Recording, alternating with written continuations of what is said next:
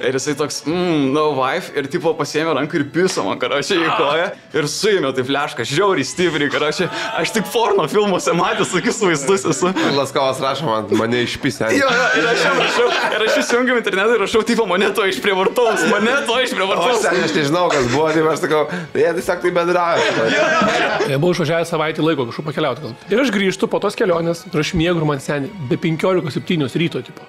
Skambinai duris kaiminė. Tu darysi visą savaitę remontą ir man dabar suskilo tapėt ir sienos. Sakau, ponė, manęs nebuvo visą savaitę Lietuvoje, aš nebuvau čia, tipo. Tu man neknys protų, tu visą savaitę darysi, manęs nebuvo, užtrenkiu durim. O kitą dieną, pusę 7 ryto vėl man skambino. Trečią kartą atėjo, aš dariau, jau bišne pagarėjus. Gerai, užpisai, atsipis, sakau, na, aš nepagarėjau. Aš sukaupęs visą pagarbą, jis kau gerai valingina. Bet ne, bet tos babkės, kur tas paviršius aukso, kur tas gyvenimas, kurio niekas neklauso. Tai kur tos pačios ir meros, kur čia vidurės, tai kur tos duris ir oi, tai kur tos duris. Ką? Tai ką, kur, kur, kur, ble, po Indijos grįžai, kur tos babkės, na. Kur Ten vis. turėjau daug, ten turėjau daug rūpijų. Ten turėjau daug, ten jaučiausi galingas. Ne, jo, ble. Grįžom, vi- paklydėlis tėvas, negaliu sakyti paklydėlis sūnus, nes aš niekur nebuvau išvažiavęs. Na. Grįžo paklydėlis tėvas. Bet buvai girdėjau, biškai išskridęs, kol nebuvo mane. Ne, tai aš Aš, aš, aš pradėjęs nuo lauktuvų, Markui, parvežiau, aš sakau, dar taip, tai yra, buvau tenais tokiam kaip turgui, taip pat tame, ir nupirkau to vieną dalyką, pamačiau iš karto galvoju, taip, va, šitą Markui reikia čiupti. Ir tau labai tiks prie Tilžės turgaus, pameni Tilžės turgaus mėgstinį. Pameni? Filip Lein dabar. Kai ne Filip Lein, Pelė Plikai, Ir, Pelė ir, ir, Filip Lein. Ja, Filip Lein. Filip Lein. Ui, Dur. Iš, iš kupranugario kaulo. Rimtai? Iš kupranugario kaulo. Ja. Ir kaip pirkau, ir kaip pirkau, tai nusidėrėjau. Gerai, tai važiuoju gerai. Prie to mėgstinio bus ten žiauru. Laukiu pamatyti, kaip, bus, kaip uždėsi tą. Pusę dieną ir ne. Bet, bet toks, jeigu Vilnių vaikštai, tai jau keistai, keistai žmonės žiūrės, jaučiu. Su rūžavais plaukais ir kaukolė, tai sako, apsikabinė. Tai manau, kad man tinka visai, aš nežinau. Čia yra mažų indų embrionų kaukolytas.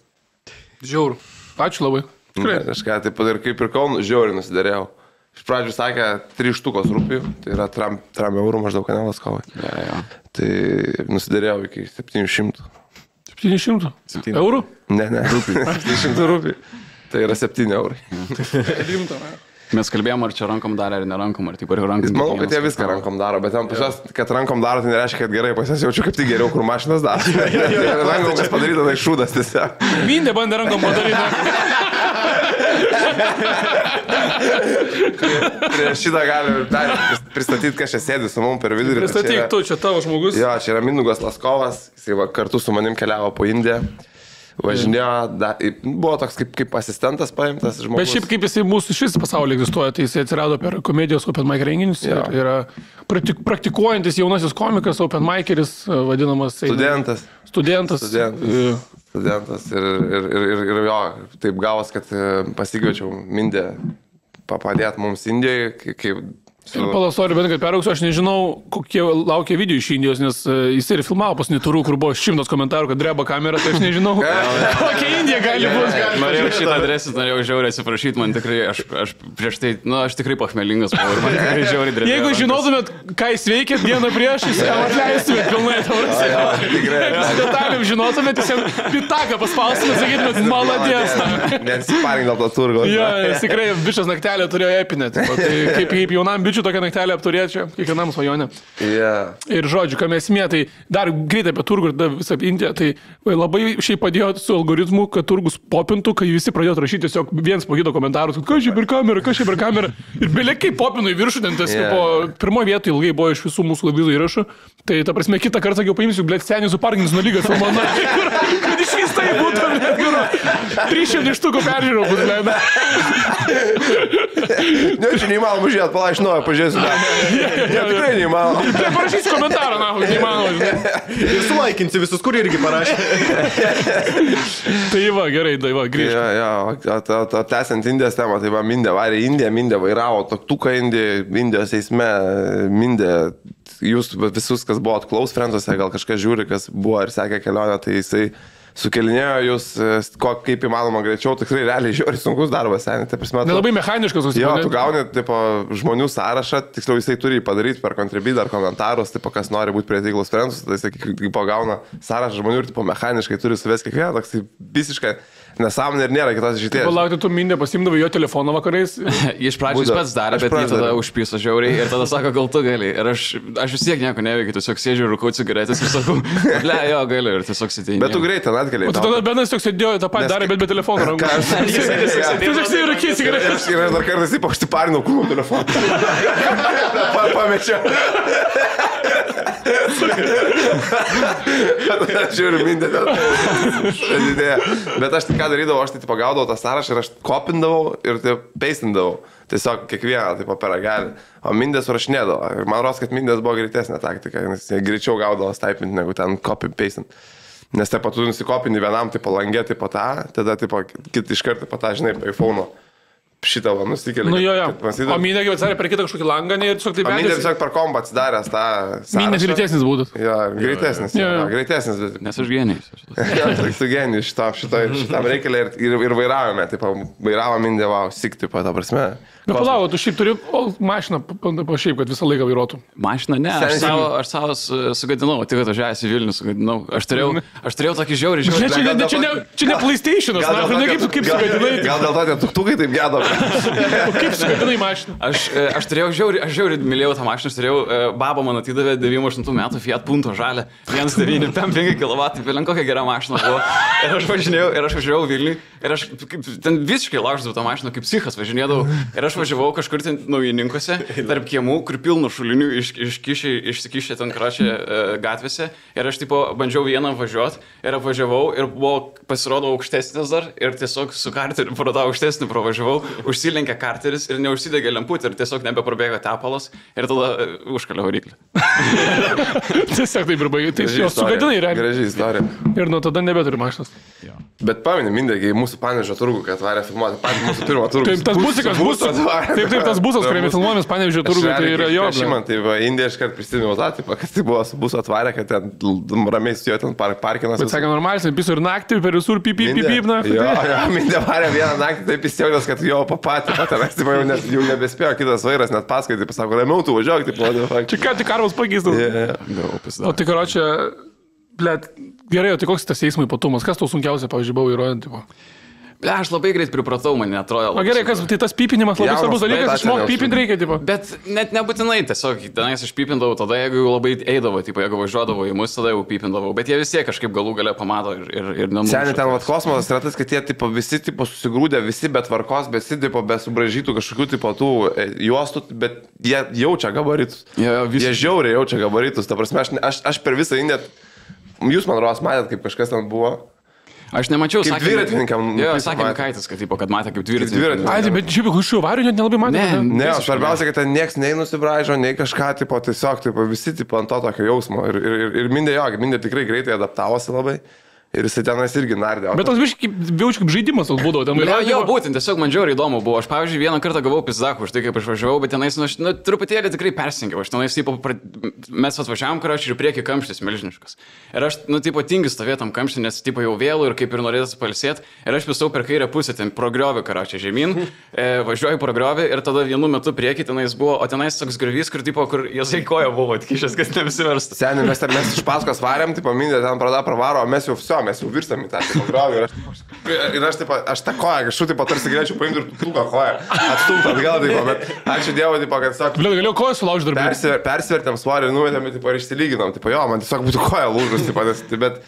Jo, ten, tai, bet ten buvo toksai, ir ten mes buvom prie tokios, ten vienas sakė mindį didžiausių highlightų, tipo Indijos, bet kas su vairavimu ypač susiję, tai tipo, buvo per tokią perę, kur važiavo traukinys ir ten ten visi buvo seniai susigrūdę, tipo, žiauriai, tipo, kaip per rolą, žinai, per visus tas filmus, tai, iš visų pusių, visi ten nardo, kas su, tipo, baikais, tipo, nu, tais Jo. motociklais, tipo, lenda tenais visur. Ir mindį irgi varė, tipo, visur, tipo, linda, ten, tipo, visiškai kaip... Kas karačiai tenais. Jo, jo, kažką, tipo, pradėjo. Na, prasidėjo labiau paaiškinti, pro kur buvo pervaža. Karočią Jo. buvo pervaža ir, sakykime, kai užsidaro pervaža, pas mus yra normalu, kad vienas viena juosta yra ir viena juosta viena važiuoja, kita kita juosta važiuoja. O tenais buvo, kad tipo prie pervažos, kaip prie kokios lenktynių linijos, tiesiog sustojo belenkiek pirmų, Jo, kokį jo, 20 jo. pirmų, Ir visi, tipo, bando iš abiejų pusių. Ir iš abiejų pusių, tipo, kad tiesiog atrodo kovosimės dabar. tenais.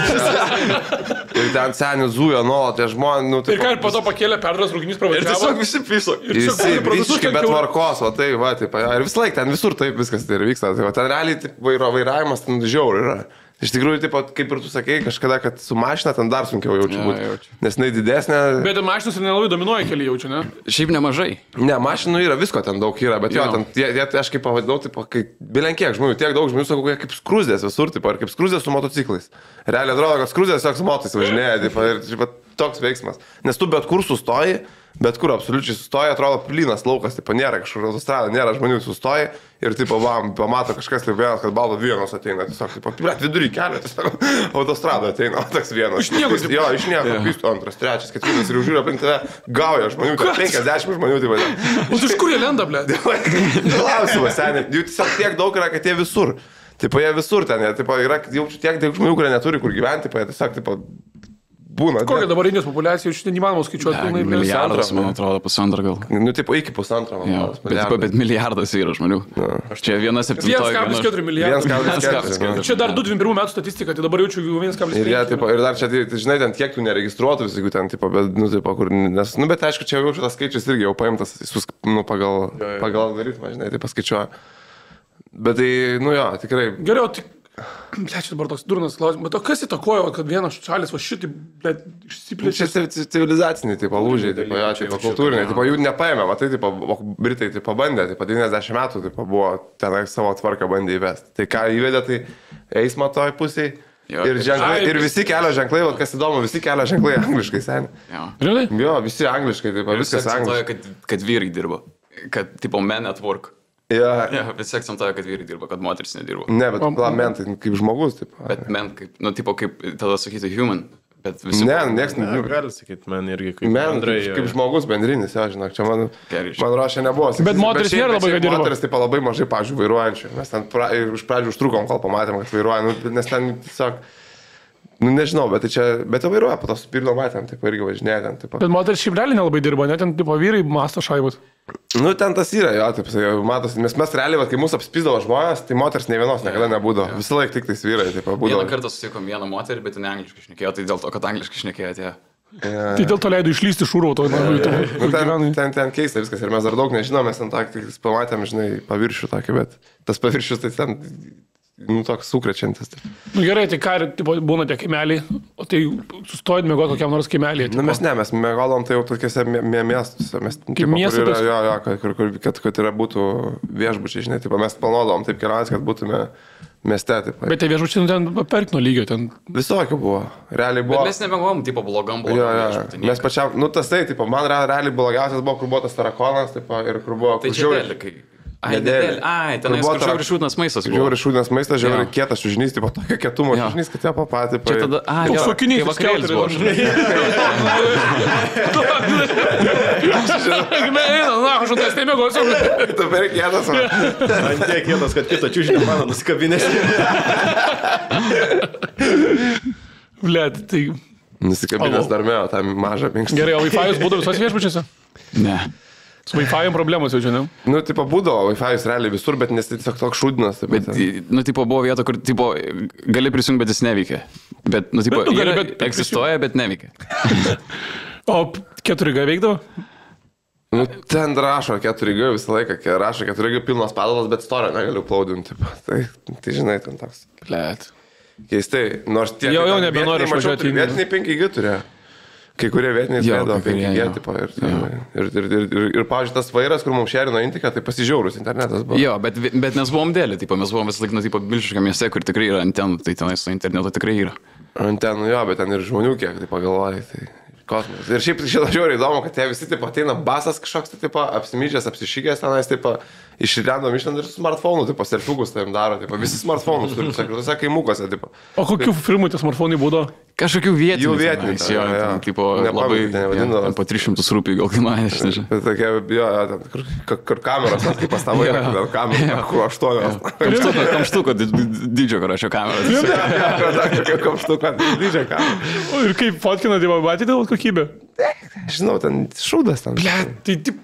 Jie jau yra tiesiog, kur sėdi, ble, kokiam sandėlį ir gamina, na, tus smartfonus patys. Taip, taip, taip, ten, ten, oi, ten, taip pat tiek, tiek yra, bet šiaip taip pakeista, kad visi su smartphone'ais prieš dešimt metų nebūtų žiauriai pasaulio pakeitė šitas. Kažkiek, kažkiek suvienijo, bet panašu, taip pat skirtumų vis tiek nenugalėsi kultūrinių. Šiaip aš par tą pa- pa kelionę daug gal galvoju apie tos kultūrinius skirtumus ir man ras, kad kai kur, taip, nu jie gali būti neveikiami, taip, ta prasme, tikrai. Su ne, ne, nepakeis, nepaaiškinsi, Nu, nes ne, ne, niekada tam, neįmanoma, jo, tipo, jo, taip, jie nesupras mūsų, mes nesuprasim jų. Blet. Tai va.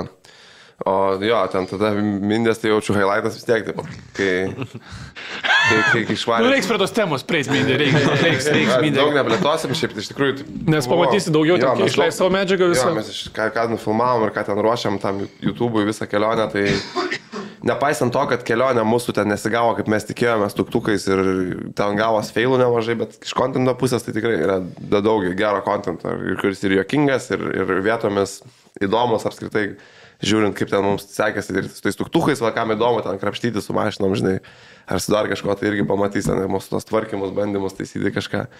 O ir, ir kam įdomu. Bet, žodžiu, bet, bet, bet jūs sakysit, kodėl jis buvo toj fūrai? Ar tiesiog, ar tiesiog, ar tiesiog sakom, kad mindė fūrai važiavo dėl tam tikrų priežasčių kad... Ne, galim pasakyti, kad iš esmės taip, mūsų, kadangi kelionė labai strigo ir mes pamatėm, kad tuktukais nuvažiuoti beveik e, nu, neįmanoma, net ne beveik realiai neįmanoma, tai mes ieškojom kitų alternatyvų, kaip kažkokį atstumą nusivežti tuk- tuktukus ir, ir, ir, ir, ir, tuktukai važiavo su fūra ir Mindė buvo savo norų, jis labai norėjo važiuoti. Buvo žmogus ir tegas. Jo, ne, žmogus ir tagas. Ir mes visur taip naudojam šitą savoką. Čia Maros Mikaitis sugalvojo taip pat. Tai, tai iš esmės buvo žmogus ir tagas. Mums reikėjo žinoti, kur, tos, kad, kur tie tuktukai yra. Bet, bet nu, žodžiu, va čia, čia gal tiek ir papasakosiu, kaip ten viskas pakrypo ir baigėsi, žinosit vėliau. Bet ten, ten Mindė patyrė, nu, jau tokią neregėtą Indiją, kur manau, kad labai, ma- labai, labai žmogų, mažai žmonių yra pa- patyrę kažką panašaus. Taip, Tai gali trumpai papasakot, nu, bet taip tikrai Bet- trumpai, kaip, kaip atšventai savo 22 gimtadienį. Tai gimtadienis dar buvo?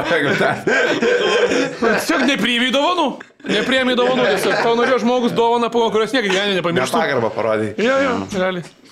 Bet gerai, nu tai aš tada pomoderuosiu tau, kad nereiktų. Gerai, tai šokiai pas juos į mašiną, išvažiavai. Ne, pirmas dalykas, koks buvo kalbos barjeras, kiek jie angliškai suprasdavo. milžiniškas ir dar iki šokimo, iki mašinos tiek daug buvo, tipo, iki fūros buvo dar kokias dvi valandas kelio karočią, dar prieš, tipo, pasikiant fūrą.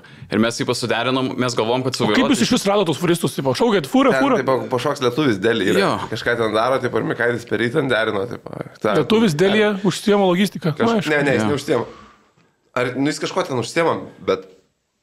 Bet, taip, jisai ten rado pažįstamus. Tai Bet jis buvo nedėlį. Ne. Jis buvo ten apšiai, ten kitoje Indijos Jo, jo, galėjo. jo, bet jisai taip per pažįstamus ten yeah. derino, taip, kad, kad, kad, kad, kad, kad mus paimtų, mes buvom mieste Kalkuta. Ir taip, mes iš Kalkutos turėjom, norėjom nuvežti tos tuktukus į Čenai miestą. Bet Kalkuta vienas didesnių miestų Indijos. Jo, Jis, bet seniai toks, taip, man tai pats blogiausias jaučiu. Ne, man čia nai labiausiai nepatiko. Nepatiko bet- čionai, Jo, jo. Nu gerai, žodžiu, tai šokat į mašiną, važiuojate iki fūros, ne? Mes su tuktukais važiavome iki fūros. E, Ir mes, tipo, atvažiavome iki fūros ir su tuo, tipo, kurio mes kaip ir suderinom, kad, tipo, kad aš važiuoju kartu, tipo... Bet ten tas suderinimas, tipo, can, can I go with you? Čenai, Čenai, yes. Yes, yes, yes. Ir Jis nesuprato, ko klausia. Ir jie dar visą laiką daro tą tokią. Ir taip pat čia yra, čia yra, taip pat, taip, taip paklausė, taip, ar galiu įsipilti sulčių ir jisai. Taip pat čia, taip kaip ir taip, bet, pavyzdžiui, kai jam kažkas ne, nepatinka indų, ten kažkas jam, taip, nepatinka, vis toks, taip, nelabai ir- irgi tokia. Ką? Irgi, taip, nu, ten tą reikia dar su- suprasti, taip, taip, galvų kalba. Ten, taip. Galvų kalba. Jo, jo, ten visiškai, taip, jie- ir tas, va, tas, toksai, va, man, taip, judinimas, taip, bet, bet tas pagrindinis tas, ar jau šiandien. Jo, jo. Tipo, kur iš šono dažniausiai. tipo, ką? Jo. Okay. Jo, tai va toks suderinimas tos buvo, kad, tipo, Ir kad jis nelabai galo. suprato klausimą, aš Jo. iškart sakau, tipo, kitiems, taip sakau, man ras, jis nesuprato klausimą. Kodėl Google Translate naudodavot, pasakai, indiškai, Jie biškai. skaitydavo. Indi, indi, nemoka. bet žinok, ten jie... Dialektų daug skirtingų, Jo, ne? irgi yra tas tai, tipo, bet, bet suprasdavo. E, Kartais, pavyzdžiui, nu, su- tas, kur furistas, kur bandžiu išnekėti, jis tiesiog skaityti nemoka ir aš tai negaliu. Minė tikėdavo manim, kad jie skaityti nemoka, tai ateina ten kažkoks, taip irgi toks, taip mus pamato ir toks, akim blizgant, tai paeina ten prie mūsų spaudžia rankas, mums toksai in- indas ten prie vėrbučio, dar, dar kai buvom pir, pir, pirmam tam miestą, gang tokia. Ir, ir, ir mindė jam tai parašo, ten kažką iškirčia ir rodo, ir jisai toks žiūri į tą ekraną.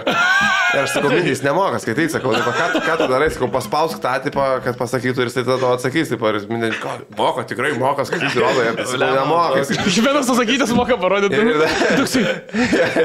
tada taip paspaudžia, paspaudžia tą audio, taip pisant pasako, o, ir tada sako vardais, tai savo, taip sakau, jam, taip, kai kurie tiesiog nemoka skaityti ir taip, net negali stebėtis, nu, kur, kur tu, neįstė. Ten tos kastos vis dar veikia kažkiek, taip, jeigu tu ten gimiai kažkur blogai, taip pat ir ne- neįsi į tą mokyklą. Neskaityti.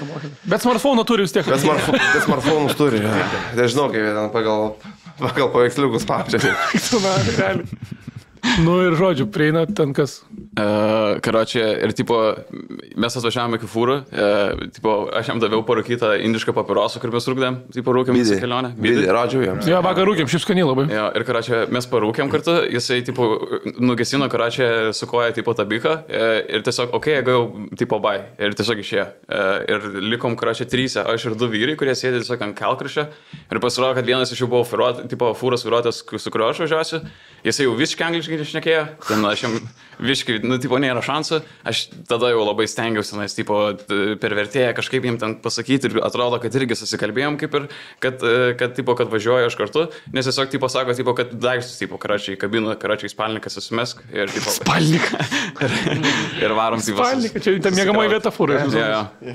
Spalnika. Ir- ir Geras tipo, žodis. na. E, Mes pasikrovėm tos tuktukus e, ir, ir dar pastovėjom kieme truputį ir tipo sėdėm į fūrą kračią, sėdėjom fūrą žiauriai ilgai, tenais tipo visus daiktus mano lėti, tenais tipo irgi viską žiūrėjo, ten jiems viskas įdomu, bet jiems žiauriai įdomu kainos buvo, tipo, kad jį buvo, jis pavyzdžiui, aš tiesiog sėdžiu šalia manęs telefonas padėtas, jis pis pasiema taip telefoną, pasižiūri, pasižiūri, kažką pamaigo, tipo, kokią kainą klausia.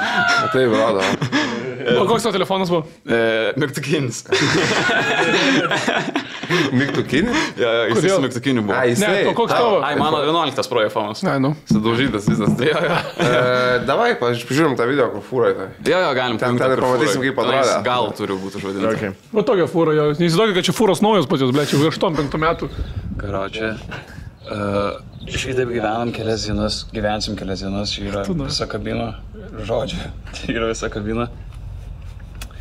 Čia spalnika. Čia miega vairuotojas, čia ant šitą miego aš. Aš gavau na. tikriausiai specialią vietą, aš nežinau, kas čia yra per kibiras, bet aš galvoju, nes šiaip aš bijau jį atidaryti, bet čia yra toks kaip vakumas padarytas. Ir Ten šūdų kibiras? Aš nesu tikras, bet aš galvoju, kad čia nais e, gali būti e,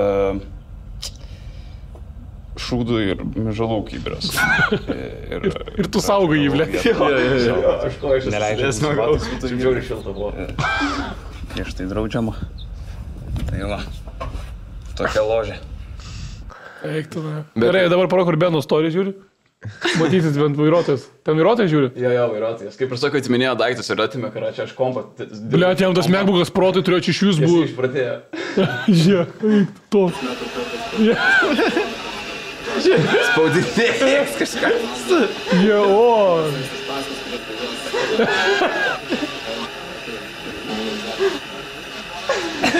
Ble, kaip jam įdomu. Bet o tie, va, taip ir viską žiūrėdavo į mus, taip, į daiktus mūsų, į viską. Dar kad pasileido iš naujo. Iš naujo?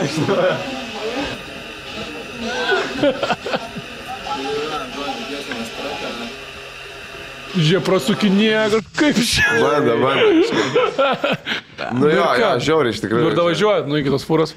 Jo, tai čia jau fūrai buvo ir mes važiavome iki fūros ir sėdėjom žiauriai ilgai. Kodėl? E, tiesiog laukiam, nežinau. Esmė ko. dabar ne, nu kaip jau dabar paaiškėjo, žinai, mes tas pervežimą Bet čia dar padarėm. iki, iki išvažiavimo dar iki parkingo, tipo. Bet, e, a, iki parkingo. Jo, tiesiog laukiam e, ir sėdėjom. Bet ten kelias viskas valandas. ilgai vyksta, ten, Jo, ta prasme, viskas labai ilgai vyksta. Ir tipo, vienu jo. metu atėjo tipo, kažkoks kitas vyras, tipo, e, atsisėdo į fūrą, jaunesnis, bet angliškai vis tiek nešneka. Ir aš galvojau, kad čia kitas vairuotojas, nes tipo, jis įsėdo ir tipo, mes užsikūrėm ir pradėjom judėti. Ir pradėjom važiuoti, nuvažiavom, tipo, tik tik biški vos vos iš miesto išvažiavom, dar tipo, tipo šviesos matosi, karačiai už nugaros, tipo žibintai. E, ir, tipo, ir išlipo tas vyras, karačiai, kur sėdėjo, e, uždarė duris ir tiesiog išėjo į tamsą. Mes pastovėjom, mes pastovėjom, kol jo visiškai nebesimatė ir tada išvažiavom toliau. Ir nuvažiavom dar biškių už miesto, kokį ten, nežinau, gal 15 km ir nusistavom kažkokiam parkingė. Ir, ir tipo, sustavom parkingę, kaip tada jau, tipo, supratau, kad eisime got, nes, tipo, jis užgesino. Tu laukai, beveik ilgai pavažiavo, 3 km eina mėgoti, Jo, viskas jau užtek įvažiavimo. jo. Ir mes, tipo, jisai užgesino variklį, e, tipo, užsikūrė smilkalą ir tiesiog, tipo, krito į spalniką vėl. Ir, ir tiesiog... Va. Tiesiog įmarino spalnikę, tipo, karočią. Ir e, tenais, tipo, e, tiesiog sėdėjom, nieko nedariau, man tiesiog žiauriai baisu buvo. Ir žiauriai purvino ta fūra, buvo žiauriai purvino. Šiaip žiauriai karšta, ten jokios kondiškės nieko nėra, ten plus 3 du kieme, karočią. Ir Žiauriai purvina, kračia, aš sėdžiu ir man minutėm panagis tiesiog judėti. Aš nieko nedarau, aš tiesiog sėdžiu, taip rankas ant kūno susidėjęs. Žiauriai. Ten žiauriai purvina buvo, žiauriai. Na. Tu stebėt gali, realių laikų, na, tas panagis sėdėjo. Kaip pagreitinta. Visiškai, kračia. Ir, tipo, ir aš mėgau gal ten valandą, dvi maks, nes jis visą naktį spardė mane. Jisai iš pradžio, tipo, atrodo, kaip tipo pėdom, jis buvo, man žiauriai išlikštų buvo tas, kad jis nogom pėdom buvo. Ir jisai, tipo, pradėjo, tipo, tam nogom pėdom, man kaip kojom, tipo, atrodo, pėdom pilom, mūsų žodžiu pradėjo. Tiesiog, Čia tiek daug asmeninės erdvės pažeidimų, na. Čia yra daužo, čia žiauru. Ir, ir bet jisai mėgojo, jis tiesiog gal košmaras sapnavo, aš nežinau. Ir tipo jis po to kyla tiesiog ir tipo vis stipriau, karočią, pisa, karočią, pisa į veidą, ten karočią. Toks žiūri, kojas nykštys, blė, burnoja, na, užlynės užžanda, blė. Aš ten numetinėjau, tos kojas, man panika, bet kokia tenais pisa, karočią. Ir... e, Ir taip ir aš sėdžiu toj fūrai ir paryčiais kažkada, tipo, aš įsijungiu internetą. E, Ir įsijungiu Nes taupydavo internetą. intiką, žinai, ten. taip. Jo, nes taupydavau elektrą ir internetą, tipo, įsijungiu internetą karočią ir, tipo, aš žiauriai sunkia naktį turėjau ir žiūriu, kad mama parašys, tipo, su gimtadieniu. Ne, tokia gimšė, man. ir e, jo, ir tada, tipo, biškai, nu, karočią ten at, e, nieko netrašiau mamai tada, nes nenorėjau sakyti, kur esu. E, Išjungiau ten telefoną, tipo, toliau ir tiesiog sėdėjom, tada jis pasikvietė, tipo, tas indusas kitą, karočią indą, tipo. Čia paryčiais, bet čia. Jo, jo, jisai atsikėlė tiesiog pagaliau kažkada ryte ir pasikvietė kitą furistą, tipo, kitą furistą, jie atvarė, karočią, tipo, pas mus į fūrą. Mes sėdėm tiesiog trys fūrai, jie dviese sėdi per to draugelio telefoną, žiūri indiškas žinias. E, aš tiesiog sėdžiu šonė irgi, kai aš žiūriu su jais kartu indiškas žinias. Ir tiesiog taip leidžiam laiką tiesiog. Ir jie, tipo, žiūri, tipo, nešneka angliškai visiškai ir tiesiog bando kažkaip mane į pokalbį įtraukti, bet mes nesusišnekam tiesiog. Eik, tu, na, čia viską nesąmonė, yra toks Bet, jie- sėdėjimas. bet jie visą laiką nori, taip, bendrauti, nors ir nemoka angliškai. Jo, ir vienu metu aš gal atsibodau jam žiauriai, kad nešneku su jais, nes tiesiog nusišneku ir jie išvarė pas tą kitą furistą į fūrą. Ir kai aš, aš tiesiog sėdėjau vienas ir tiesiog pradarytos duris, nežiauriai karšta, kad kažkiek bent vėjo ten būtų. Ir, e, tipo, ir girdžiu, kad kažkas ateina ir aš pakeliu galvą ir, e, ir tipo, nematytas dar vyras. Tiesiog bahriukas, karačia, žiauriai viešliais ūsais, tokiais plaukais, karačia, biški čia nais proplikis, žinai, bet tokiais raudonais langotais marškiniais, ant karačia. Simpatiškas, sakė, užprastas. Mielas. ir, tipo, ir, ir pradėjo tipo, su manim kalbėti jisai, tipo, ir, ir jisai angliškai žiauriai gerai išnekėjo. Tipo, mes viškai išnekėjom angliškai, tipo, ir man tokia biškai kaip ir atgaiva buvo, nes aš su nieko nešnekėjau, ten tipo žiauriai ilgai ir jis tipo basarno su manim žiauriai tipo kietai, jisai klausinėjo dalykų, bet nelipa į fūrą. Tiesiog, tipo, pašnekėjom, pašnekėjom, karočią, tipo, sako, kur vairuotojas. Tipo, uh, uh, sakau, tipo pas draugelį, kurio čia nuėjo, tipo iki vairuotojo, grįžo, tipo su vairuotoju e, po kelių minučių ir tada būdų, tipo, į viršų užlipo, kur aš ir vienas trys sėdėm dabar aš, tipo vairuotojas ir tas parkingo prižiūrėtojas. Tas, tas nuo žiomokas. Jo, jo. E. Ir, ir jie vėl kažką tarpusavį pašneka ir, tipo, ir mane jau dabar įtraukė į pokalbį, nes jisai angliškai moka. Tipo, A, ir mes jau kalbam apie dalykus, tipo, tenais kaip ir viskas faina, tipo, viskas linksma. Ir e, vienu metu uh, tas vairuotojas išėjo, karočiui, iš fūros. Uh, ir mes likom dviese. Okay. Ir, jis turėjo tokį, ir jis turėjo tokią knygą, karočiui. Ir aš tipo klausiau, kas čia per knygą yra. Ir uh, jisai tipo man ten rodo, ten tipo ir pasako, kad, tipo, kad kiekvienos fūros numeriai yra, ten tipo menedžerio numeriai ir taip toliau, tipo, kas vairuoja tą fūrą. Nu, žodžiu, visa informacija tokia kaip apskaita kažkokia. Ir, e, tipo, ir kaip ir nutilo tema apie tai. Ir, e, ir tipo, tokia biškis tyla, ten gal 15 sekundžių. Ir tada sako jis man, sako, do you have a wife? Biškai tik arčiau mikrofono, gal atsiprašau. Ir, ir aš sakau, na, sakau, tipo, kad ir jisai toks, mmm, no wife, ir tipo pasėmė ranką ir piso man, karačiai į koją ir suėmė taip lešką, žiauriai stipriai, karačiai, aš tik porno filmuose matęs tokius vaizdus esu. Taip No žiauriai. wife, ok, understand. Suėmė Laskovas rašo, man, mane išpisė. Jo, jo, ir aš jam rašau, ir aš įsijungiu internetą ir rašau, tipo, mane to išprievartaus, mane to aš išprievartaus. ten, aš nežinau, kas buvo, tai aš sakau, tai jie tiesiog tai bendrauja. Jie vaikšto susikybę už rankų. Sakau, atsipalaiduok, nieko čia nebūtų. Pa- Mažiau skaudės, jeigu atsipalaiduos. Ki- ki- ki- Kitas mano patarimas, seniai. Tiesiog seniai melskis, garsiai melskis. nes, Jie, jie duos pagarbą, jeigu tu tikinti, sakau, garsiai kartuok tėvą, mūsų taip pat, na, jie taip pat jaus pagarbą. Aš jam rašiau, kad jau ačiū priprasiu. Jo, tai balasė, aš, jo, jo, tipo, viskas bus normaliai, tai gali būti, bet taip. Nu ir tada viskas pradėjo intensyvėti, ne? Jo, jis pradėjo glostyti ant mane. Meiliai labai ten. Kaip Go- GoPro, GoPro įmatė, braukia, taip, pirštais per kiaušus. Čia GoPro buvo. Padėta. jo. Tai Mindė Karačia nufilmavo iš viso to žiauriai gerą, taip, Jo, žinau, va čia ties čia, ties čia baigsim ir galėsi dabar Jo, laukti čia- ir, ir yra, yra video Iš kaip. tikrųjų, ten bus viskas, jisai pafilmavo ir kaip jis ten daiktus pakuojas ir savo mintis išgyvenimus pasako ir ten, ir ten netgi jau priekabiavimas yra irgi įamžintas, taip, forever, taip, jisai bus, tai čia, nu, Mindė sukūrė Indijoje geriausią turinio vieną, mano nuomonė, tai tikrai buvo ten daug visokių. Biški trūko iki pačio geriausio. Čia iki pačio, iki pačio geriausio parkingo prižiūrėti. Trūko, bet, bet, bet Indija, man atrodo, ten, kur reikėjo, sustojo. Ten ten viskas ir baigėsi. Tai kaip ten viskas baigėsi, sustojo, tipo, kaip tu Mindė sureagavo ir tipo, kas, kas įvyko, Jo. tai sužinosite. Žiūrėdami, o gal tu davai turi kažkokių mindį klausimų, čia mes dabar tavęs neįjungia visiškai tai. Ble, bet šiaip žinau, kad dar prieš duovę aš jums galiu pasakyti, kad kaip sunku yra laikyti tokią istoriją savy. Aš, aš visiems Bet, noriu bet, bet, pasakoti. bet tu žinai. Tai gerai, tai tu, tu ten pasakok savo draugams aplink Nu, internete, Jo, jo, nepasakok. jo, internete pasako, bet su visų antra, taigi tu supranti, kad tu iš to ir stand-up bitą gali visai parašyti neblogą. Jo, jeigu bet- visiems visiems išpasakosi. pasakojimas nereikalingas, Jo. tipo, ble, tavo, kai tu išpasakoji, tau po to, tipo, reakcijos kitų žmonių, tipo, biški supisa, tipo, kaip tu pats savo tai priemi. Ir čia tokia istorija, jinai pakankamai, tipo, nu, Jo, šiaip galėjo tai ir strumuot. specifinė. bet, bet tave strumuoti ne istorija, nes ten nieko nesitiko, ten tiesiog iškrypelis, kurių yra visam pasauliu, absoliučiai visur, tipo, padėjo ranką tau ant kojos, taip, ir viskas čia istorija ir baigės. Bet kitų reakcijos į tai, taip, ir jo labiau, kai yra filmuota medžiaga, gali tau į galvą įvaryti, kad taip pat čia kažkas atsitiko blogo. Tai Jo, su to pasakojimu, jo. taip, reikia irgi, žinai, jo. atsargiai. Dovi, turi kažkokių klausimų. Ne, aš tiesiog iš. Pastebėjimų gal kažkokių. Man tiesiog pizdakai išrašė. Jeigu, jeigu, jeigu jau pasiliekat, pasiliekat YouTube'ui, tai, tai pasilikit. Ne, Nežinau, aš galiu- galiu papasakot, aš- aš... Tik aš pergyvenu dėl, tu, blėt, psichologinės būsenos savo, tipo, nes aš sakau, tipo, žmonių reakcijos tikrai viską, tipo, kuo tu daugiau, tipo, Bet mes, nu, tipo, bet mes kalbėjom apie šitą, tipo, tada jau, kai grįžau, kad man tiesiog baisu buvo ir taip toliau. Ir aš čia- suprantu pats, kad čia, tipo, nieko. Tipo, normalu, Žiauriai bet- siaubingo net. Bet mes iš Bet čia labai nemalonu. Bet aš kodėl... Nu, tipo, aš, aš nemalonu, jaučiu jo. truputį tam atsakomybę, nes iš esmės mes ten varėm kurt kontento, mes dabar irgi čia kuriam kontentą ir mes išnaudojam tokius dalykus kontentui. Ir tai tu vis tiek, nu, taip, ne, ne, ne, nes nėra sąmonė jau, tipo, visiškai peržengta riba. Tipo, kad žmogui, tipo, kažkokia, galbūt kažkur... Nu, Iš to darys žiaurę pramogą. Jo, kaip no, tipo- kad čia, čia, nu, taip, čia buvo, taip, toks dalykas, taip, nieko iš tikrųjų, taip, tikrai, ten jau siaubingo neatsitiko ar blogo, taip, bet, aišku, yra nemalonu žmogui, bet, bet manau, kad daugiausia problemų yra tame, kai jau reakcija būna kažkokia visuomenė, žinai, tai ir, taip, daug, daug kas visi, taip, po to į galvą įvaro, man tai būna, žinai, kad man, taip, pradeda žmonės sakyti, o ten tas, tas ir tas, tas ir tas, taip, žinai.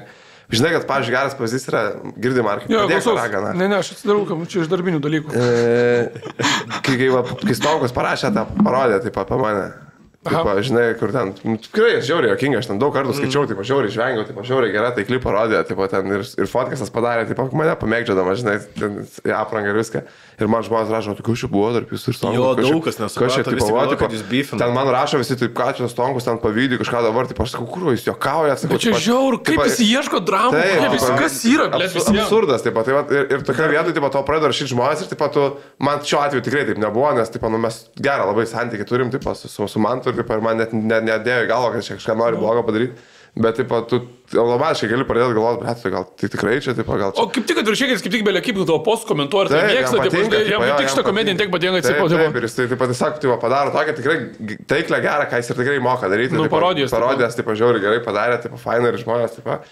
Tai va, lygiai taip pat šitoje vietoje, taip, žinai, taip, dabar, taip. Bet čia tai aš nežinau, čia gal apie pačius žmonės kad Kartais- jie, kad savo gyvenime insecure dėl kažko Tai jaučiasi, jo, jiems bet tai- atrodo ir bet ieško. Tokių labai daug yra ir nu. taip, taip pat dabar mindai, žinai, taip, vis tiek, taip, apie tai daug kalbėsime, apie tai rodys, taip, tai matysis, taip, ir po to visi, taip, eiktų, kaip čia žiaurų, taip, eiktų, na, taip, aš tai būčiau čia tą, tą. Čia būčiau pysęs į galvą, čia būčiau sutrypęs jam galvą. na. Taip, nu, iš esmės tai jo, nu, taip, greičiausiai, kad kad bet kokioje kitoje situacijoje taip, būtų taip buvę. Iš tikrųjų, taip, ne tai, Nu, kad pistum į galvą, bet būtum Gerai, bet jo, tai čia, žinai, bet tu lygini, va, kaip Mindė pasakė, pasakė vieną dalyką, tai tu esi apšė, nu, tu, tipo, sakė, jeigu tas indas yra vienas, reiškia, yra dar 30 kažkur už Jo, kampo, žinai, tipo, nu, šitą, šitą aš ir istorijų sakiau, nes mes klausėme žmonės, aš daviau užduos klausimus. Mes kažko žvengiam, tipo, vakarijo, iš to, tipo, istorijos, kad, tipo, kad su būčiau pisęs į galvą, bet dabar jam kalbėti, kad, blėt, subjektų dar 10 Seniai. indų. Ir aš pradėjau galvoti, kiek aš su pajėgus ten šitų indų paimti, realiai, tai tik kokie, nu, 5 gal kažkaip, tipo, Aš žinai. bet- širdžiai pasakysiu, tipo, tai, pavyzdžiui, nu, mindė, tipo, jaunas yra ir toksai, tipo, jauno veido ir viskas, tipo, jie, tipo, tiesiog, nu, tą išnaudoja, ten būčiau aš, tipo, ten, tipo, didelis, tipo, už juos visus, tipo, daug didesnis, Jo, tipo, tai barzda, tipo, pasakyčiau, piskit, nahu, jūs iš čia, tipo, ir viskas, ir jiem, ten kiek jų bebūtų, jie nieko nedarytų, aš manau, tipo, čia toksai buvo. Bet kaip šiaip jau matęs, jūs Ir, tipo, plus, tipo, kad Mindė buvo tokios situacijos įkaitas. Tai pirma, kad visiškai svetimo aplinkoje, tipo, tai yra baimė ir viskas, tipo, o antra, tipo, kad mes, tipo, mums realiai reikėjo, kad jis ten būtų, tipo, iš esmės, tipo, mums buvo naudinga, kad jis nori ten varyti ir jis, tipo, tikrai, tipo, Mindė, tipo, prieš tą kelionę nekartą įrodė ir Arnas kažkada pasakė, tas kitas vairuotojas, kuris vairavo, mechanikas mums sako, kad supratau šiandien, kad su Mindė eičiau į karą, tipo, tai, tai Mindė realiai visą laiką, tipo, žiauriai, tipo, suprasdavo, ką jis turi daryti ir ko reikia. Komandos žinai, žmogus, komandai, jo, jo. Ir jisai stengdavosi dėl to, tipo, ir, ir, ir, darydavo, tipo, ir, ir šitoje vietoje jis irgi tą darė iš esmės, tipo. Aišku, ten buvo ir baimės jau, tipo, bet... Ir šiaip pamatęs visų indų fizionomiją, kaip jie juda, kaip jie vaikšto, ūgį, viską, kaip man, nu kiek tai paimtum tų indų. Jeigu taip ant vieno tavęs eitų toks 10 ar 10 paimtum. Ten, Tipo. labai, ten buvo momentų, kai aš turėjau tiek pykčio, tipo, kad aš realiai virš fizinių galimybių tipo, galėdavau daryti dalykus. Tai, pavyzdžiui, kai tuktuką keliam, aš turėjau žiauriai pykčio ant viską. Taip, aš, ten, tie indai, ten, ten tuktuką laikė, tipo, iškeltą į tą fūrą irgi pamatysit, per daug nepasakosiu. Kas žiūrėsit, aš šiaip tai tikrai siūlau pasižiūrėti, nes tikrai įdomu. e, Pamatyti, tai aš ten tiesiog tada jos prastumdžiau, atėjau vienas, tą tipo, tuktuką. Kur vidinis vidas blekaitis papūdo. Visi savy turim tą vidą blekaitiną. Iškėlė. Operatorius reikia, benas masala. Benas masala. Ir tiesiog. Fūro žodžiu, neužsiveda taip, bet ant virvės, ant pečių, tą fūrą benas, ne.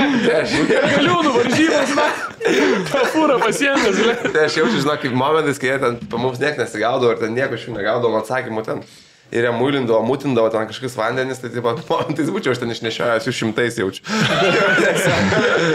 bet, bet, bet, bet, bet, bet šiaip tai, nu, nu, ten kitaip, realiai aš nei vienu momentu nesijaučiau nesaugus, kad man kažkas gali atsitikti. Ir Ten jų būdavo, ten šimtai tave apspitė, ten ne kažką daro, bet niekada aš nebijau, kad iš manęs kažką atims, niekada nebijau, kad man... O šiaip su vagystėm ne- nebuvo baitų, Visiškai pikpoketing, tipo, ne, ne, nervas jų paplitė Sakė, vagystės. kad traukiniuose žiauriai yra, bet mes taip traukiniais ir nevažiavome. Aš mačiau tą vieną video, kur tipo, kažkoks žmogus traukiniu važiuoja, filmuoja, tipo, ir tiesiog iš krūmo, na, sakti šoka, tipo, indas, griebė telefoną Ir to sa- filmuoja, o, iPhone Bet man 14. atrodo, kad ten tipo, padarytas toksai kaip bairis, žinok. Aš taip pagalvojau, žiūrėdamas, nes ten jisai labai jau, tipo, iPhone 14, tipo, kažką tokio. Nu jo, ir kaip tas video atsiranda iš karto internete, žinai, keista, keista. Taip. Bet jaučiu, kad tokia praktika yra, kad iš krūmų šokinėja ir gali. Jo, manau, kad gali būti. Nes jam aš pastebėjau, kad jeigu... Klaudą nusimeta. Jo, iCloudas gali būti, A, jo, bet, bet, bet, bet, bet, bet, bet, nu, bet, bet aš tokius čia atsargiai žiūriu. Ble, bet ne, jeigu jie klaudos jo, nu bet pagalvoju, nes Bairis man kame pastebėjau, kad jisai iššoka iš to krūmo. Ble, pabandyk YouTube surast, parašyk. Train, India Train Ten Indija būtent. Theft, jo, man rodos India. India Train Theft. iPhone 14 kažką tokio. Man fainai pamatyti, kad tipo, geriausias būdas kažką pavogti, tokia va traukinė, jisai nupiso ir jis tipo, net nebėga niekur, jis yra jis tas traukinys nuvažiuoja, žinai, tau net nereikia nieko slėptis, bėgti, po tu padarai vagystę, tau Traukinį, nereikia. blė, traukinį, blė. iPhone 14 rašy kažkaip. O, yra mužė. iPhone 14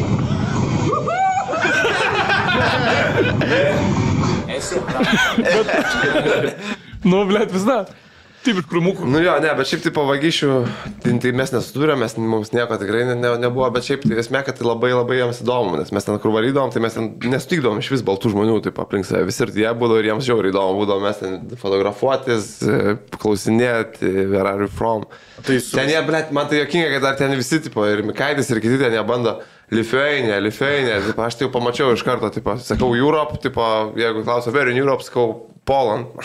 tipo, nes Lenkija, tipo, dar žinot, jau Lietuva nu, be šansų, tipo, o Poland, Poland, Poland, tipo, kai kurie ten susigaudė tiek, sako, Poland, tipo, klausinėt apie karą, tipo, kad šalia Ukraino, tipo, kariauja, žinai, tipo, tiek. Ten sakyti jiems Lithuania, tai beprasmybė ir aiškinti kažką, tipo, apie tai, nes ten... savo tą linksį, tipo, ir tipo, nieko nesupranta. Tipo. Šiaip, tipo, aš pizdavau jiems protą, tipo, jie tipo, bandydavo ten su jais kalbėti anglų, anglų kalbą savo gražiai, ten klausinėt klausimų, padavėjų klaus klausimų. Tokiais tai ko paprašiau kalbėti. Taip, tai va, aš tą visą laiką sakiau, tipo, kad jiems reikia Aš bet kur, kur užsienį būna, aš kalbu septynmečio anglų Nes, kalbą, tipo- nes tipo, jiem paprašiau Nes, tipo, suprasti. yra, perkas triubą, tipo, ir klausia, tipo, is it chili? Tipo, chili, yes, yes, tipo, chili jau žymės, tipo, nubręs tau atnešta tą chili, tipo, triubą, tipo, jis nori paklausti, ar, tipo, ar aš trūtą, ar dar kažkas.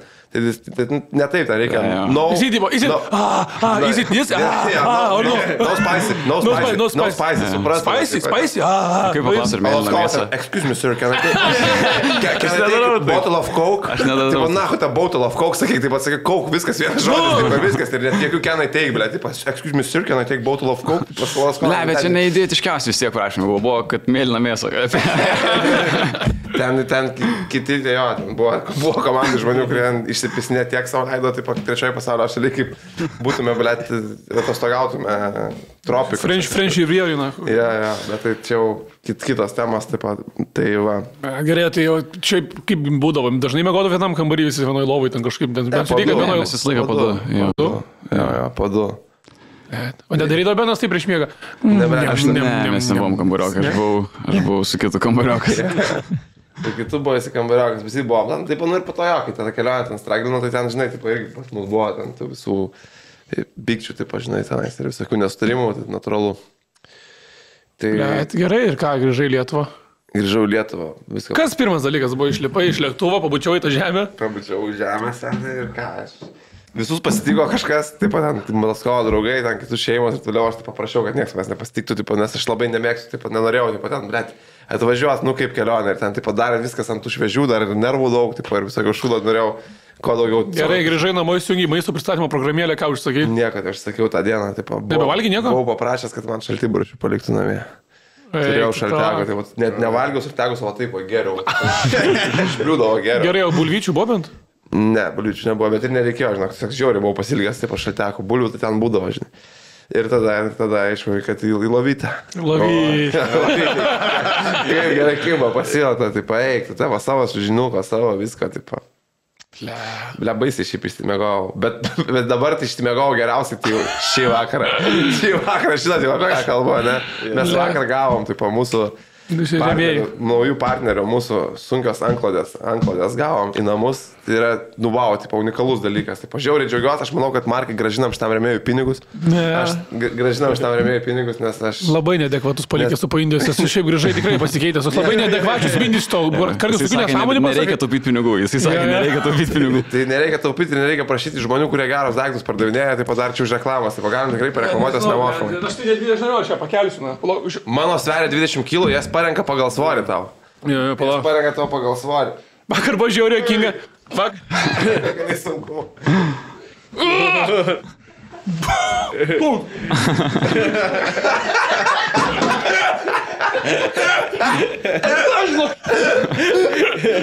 Aš jaučiu, kad Songokas va su tokia treniravosi.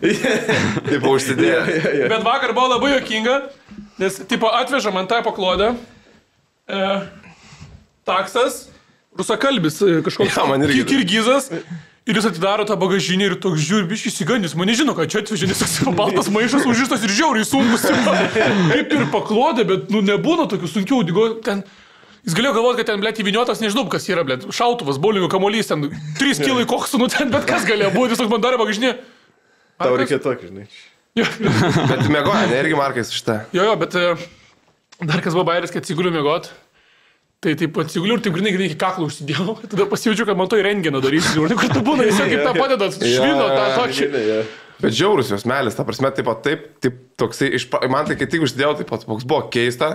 O po to taip pat ne, tu nenori, tu nenori, realiai. Tai atrodo, kad tave labai smarkiai kažkas Jo, jo, jo, apkabino. tai aš dabar jaučiuosi, kad tiesiog... Jo, dabar irgi atrodo, kad Jo. tu apkabintas, sakė. Bet jo vartėtės naktį, nesako, kai jas užsimetinti po mažiau vartais. Tam, žinok, aš, aš, aš, aš kaip, kaip, kaip užmigau, taip atsikėlė. Na, aš tai kadangi buvo pas mane ganėtinai karšta visą naktį, tai po to aš nebūdavau po to naktį pilnai užsiklojęs. Bet su jais yra taip, kad tu gali užsikloti trečdalį kūno ir labai daug gauni iš to šilumos. Jo, Toks, jo. tipo, Šilumos tikrai, tipo, šilumos jau tikrai netrūksta. Aš, aš, aš langus atsidaręs, mėgau, nes šiaip aš mėgstu langus atsidaręs gaivą ir, tipo, Jo, tai bairis ir dar kad buvo prikolas, kad kažkodėl sapnavau. E, kažkokį bičią, tipo, kuris yra įkūrėjęs šito dalyko. Ir aš sapnės, tipo, sutinku. Ir, tipo, jo, jo, jo, jo, rimtai, tipo, toks, bišį panašus į Burgailą buvo. Tokiam, tokio, toks, ir tu manęs klausė sapnė, tipo, nu kaip, jis, tipo, paklodės kažką, žinai. Čia- Jo, for real, for real, dirba. suprantu. Jo, jo, jo. Taip gerai dirba. Jo, jo, aš nežinau, kad čia, blėt, instaliavę vyrai tą paklodės. Ne, bet jo, šiaip mėgas. Ir žodžiu manęs paklausė, žinai, ir aš sakau, nu jo, kaip čia sumatys tokį verslą daryti. Jis man pradėjo savo sėkmės istoriją pasakoti, sapne, senė su žmona, 2 eurų tik turėjo, galvoju, blėt, ką čia daryti. Dabar, dabar primesi, jeigu taip iš tikrųjų tai... Jo, man įdomu, išgirsti iš tikrųjų, kaip aš tą verslą pradėjau, nes man jis sako, jo, su žmona tik 2 eurų turėjom. Ir va, sugalvojom šitas paklodės pardavinėti, blėt, paėjo, tipo, žiauriai zibys. Ir aš toks, blėt, bet tikrai geras daiktas. Čia ne, aš neapsipratau, taip sakau, naktį. Ne, tai ką ten, Markai, pa- pasakyk. Gerai, aš pasakyk kad nesuklys per daug, bet tipo, aš pats buvo įdomu, kas būtent yra kodėl aš šitą yra toks mums davė, mums davė taip, ir, ir, ir, ir papasakojo, kodėl. Tai va, sugios anglės yra terapinės priemonės, e, tai kurių paslaptis labai paprasta, jos pagamintos taip, kad sudarytų papildomą spaudimą visam kūnui. Tai ką ir sakėme, toks jauties Jo, jo. Apkabintas labiau, e, toks labiau prispaustas prie Bet lovos. nėra to sunkumo jausmo. Ne, nes visiškai klaustrofobijos Jo, nekelia, visiškai nėra. Ir Ką mes kad spaudimo jausmas prieš pat naktį leidžia jūsų raumenims labiau atsipalaiduoti, pagerėja kraujotaka ir smegenims duodamas impulsas paruošti kūną nakties miegui. Todėl kūne ryškiai sumažėja kortizolio kiekis, tai, tai, tai yra streso hormonas ir suaktyvina melatonino, miego hormono gamybą. Natūralus mėgo. Tai va, tai kūnui čia yra aišku ženklas, kad jau laikas ramiai, skaniai užmygti. Yeah, jo. tai tikrai čia tiem žmonėms, ypač, vat, kaip, kurie labai daug vartalioja slovui, neranda savo vietos, kažko, žinai, tai labai padeda šitas dalykas. Būtų užmigti. Mindasui padėję Indijoje, tai būtų fūroje tokį turėjęs. Taip. Tiesiog indas nebūtų rankos prakišęs. niekada. Jo, tai tikrai bairis, tipo, ir vat Benas dabar sakė, irgi grįžo ir iškart gavo tokį dalykėlį. Man tai šį patiko, aš šiandien išbandžiau ir aš tik... O aš, tai, aš tikrai gerai. Aš tikrai gerai. Aš šiandien kavos nesibūdęs, negėriau namuose, tipo, net nebuvo poreikio visiškai. Tai reiškia, Jo. buvo deep sleepo nemažai manyti. Ne, ir aš, aš, aš, aš buvau girdėjęs apie seniau šitas anglas ir iš tikrųjų irgi galvojau, kad išbandysiu, bet žinai, čia toks dalykas, kur nu, galvoji, galvoji, bet, nu, ne. Tai labai džiaugiuosi šito remėjų, tai kaip ir sakiau, gražinsim pinigus tikrai. Kuriuos už reklamą mes gavom čia, nes, nes produktas. Suprantu, žmogus negeria, bet tokias nesąmonės Tai kalba. nereiškia, tai nereiškia, kad tų, kurių negražinam remėjams, kad jų blogi produktai. Šitas tiesiog labai patiko man ir buvo laiku ir vietoj žiauriai. Po, po, po, po. Kaip tu šiaip mėgodavai Indijai? Nes man tai buvo tiesiog be mėgų naktų, aš net nesudėdavau blostot. Sunkiai, bet dėl, dėl, ne tik dėl to, kad sunku būtų, o dėl Indijos mėgot. Mes, nu, mano kambariokas tiesiog buvo Nu, skirtingi labai buvo. labai skirtingi. Ir fiziškai, ir, ir, Ir dvasiškai. ir dvasiškai. Kiti skirtingi Jo. režimai. Nu, bet tai čia tai būna.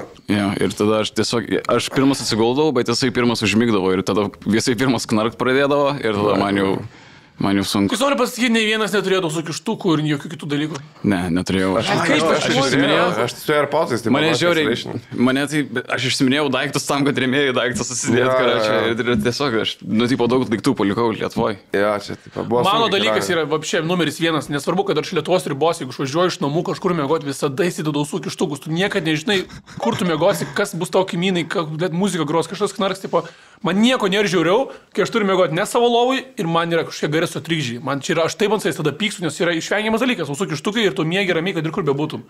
Tu, blėt, į Indiją važiuoji. Antras pizdakas, jau šiandien. Prikintų plaskovas, sako, tokio, vat lankotės, 2 kg visas bagažas. visas bagažas.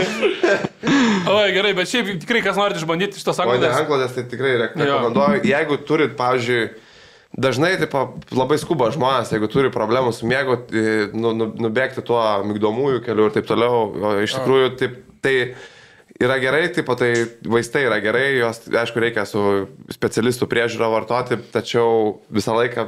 Galima alternatyvių dalykų Jo, aš manau, kad visą laiką prieš tai turi išbandyti alternatyvas, tai, tai tokie dalykai kaip antklodė šiuo atveju, tai puikiai, puikiai, puikiai tinka iš tikrųjų. Šiaip labai maloni medžiaga, aš nežinau, ar čia reikia vilkti dar į kažkur. Nes aš tai nenoriu vilkti, man labai patinka. Klausimas. Nu, jinai man maloni, bet aš tai manau, kad vilks, nes aš manau, kad jeigu tu ją nuskalbsi, tai, tai va šitie taip nebebus tokie Nemanau, malonūs. jeigu skalbsi normaliai. Aš, aš tai Nebus taip paliksiu. šiandien. Aš tai- darom tyrimą, tu vilkas, aš nevilksiu, Nu, pažiūrėsim po ką, kas, kas paaiškės. Taip. Po metų laiko pažiūrėsim, ar man Nu, nusitrauks ar ne. gerai, pabandom. Tai va, tie, kurie norit išbandyti, kuriem įdomu ir visai sudomino, tai galite panaudoti mūsų nuolaidos kodą, hiparikį miega ramiai. Taip, Toks ilgas? Hiparikį miega ramiai, jo, tipo, disleksikam gali būti sunku įrašyti, paprašykit tėvų ar kažko, kad padėtų. Mes parašysim, kad nukopintumėt?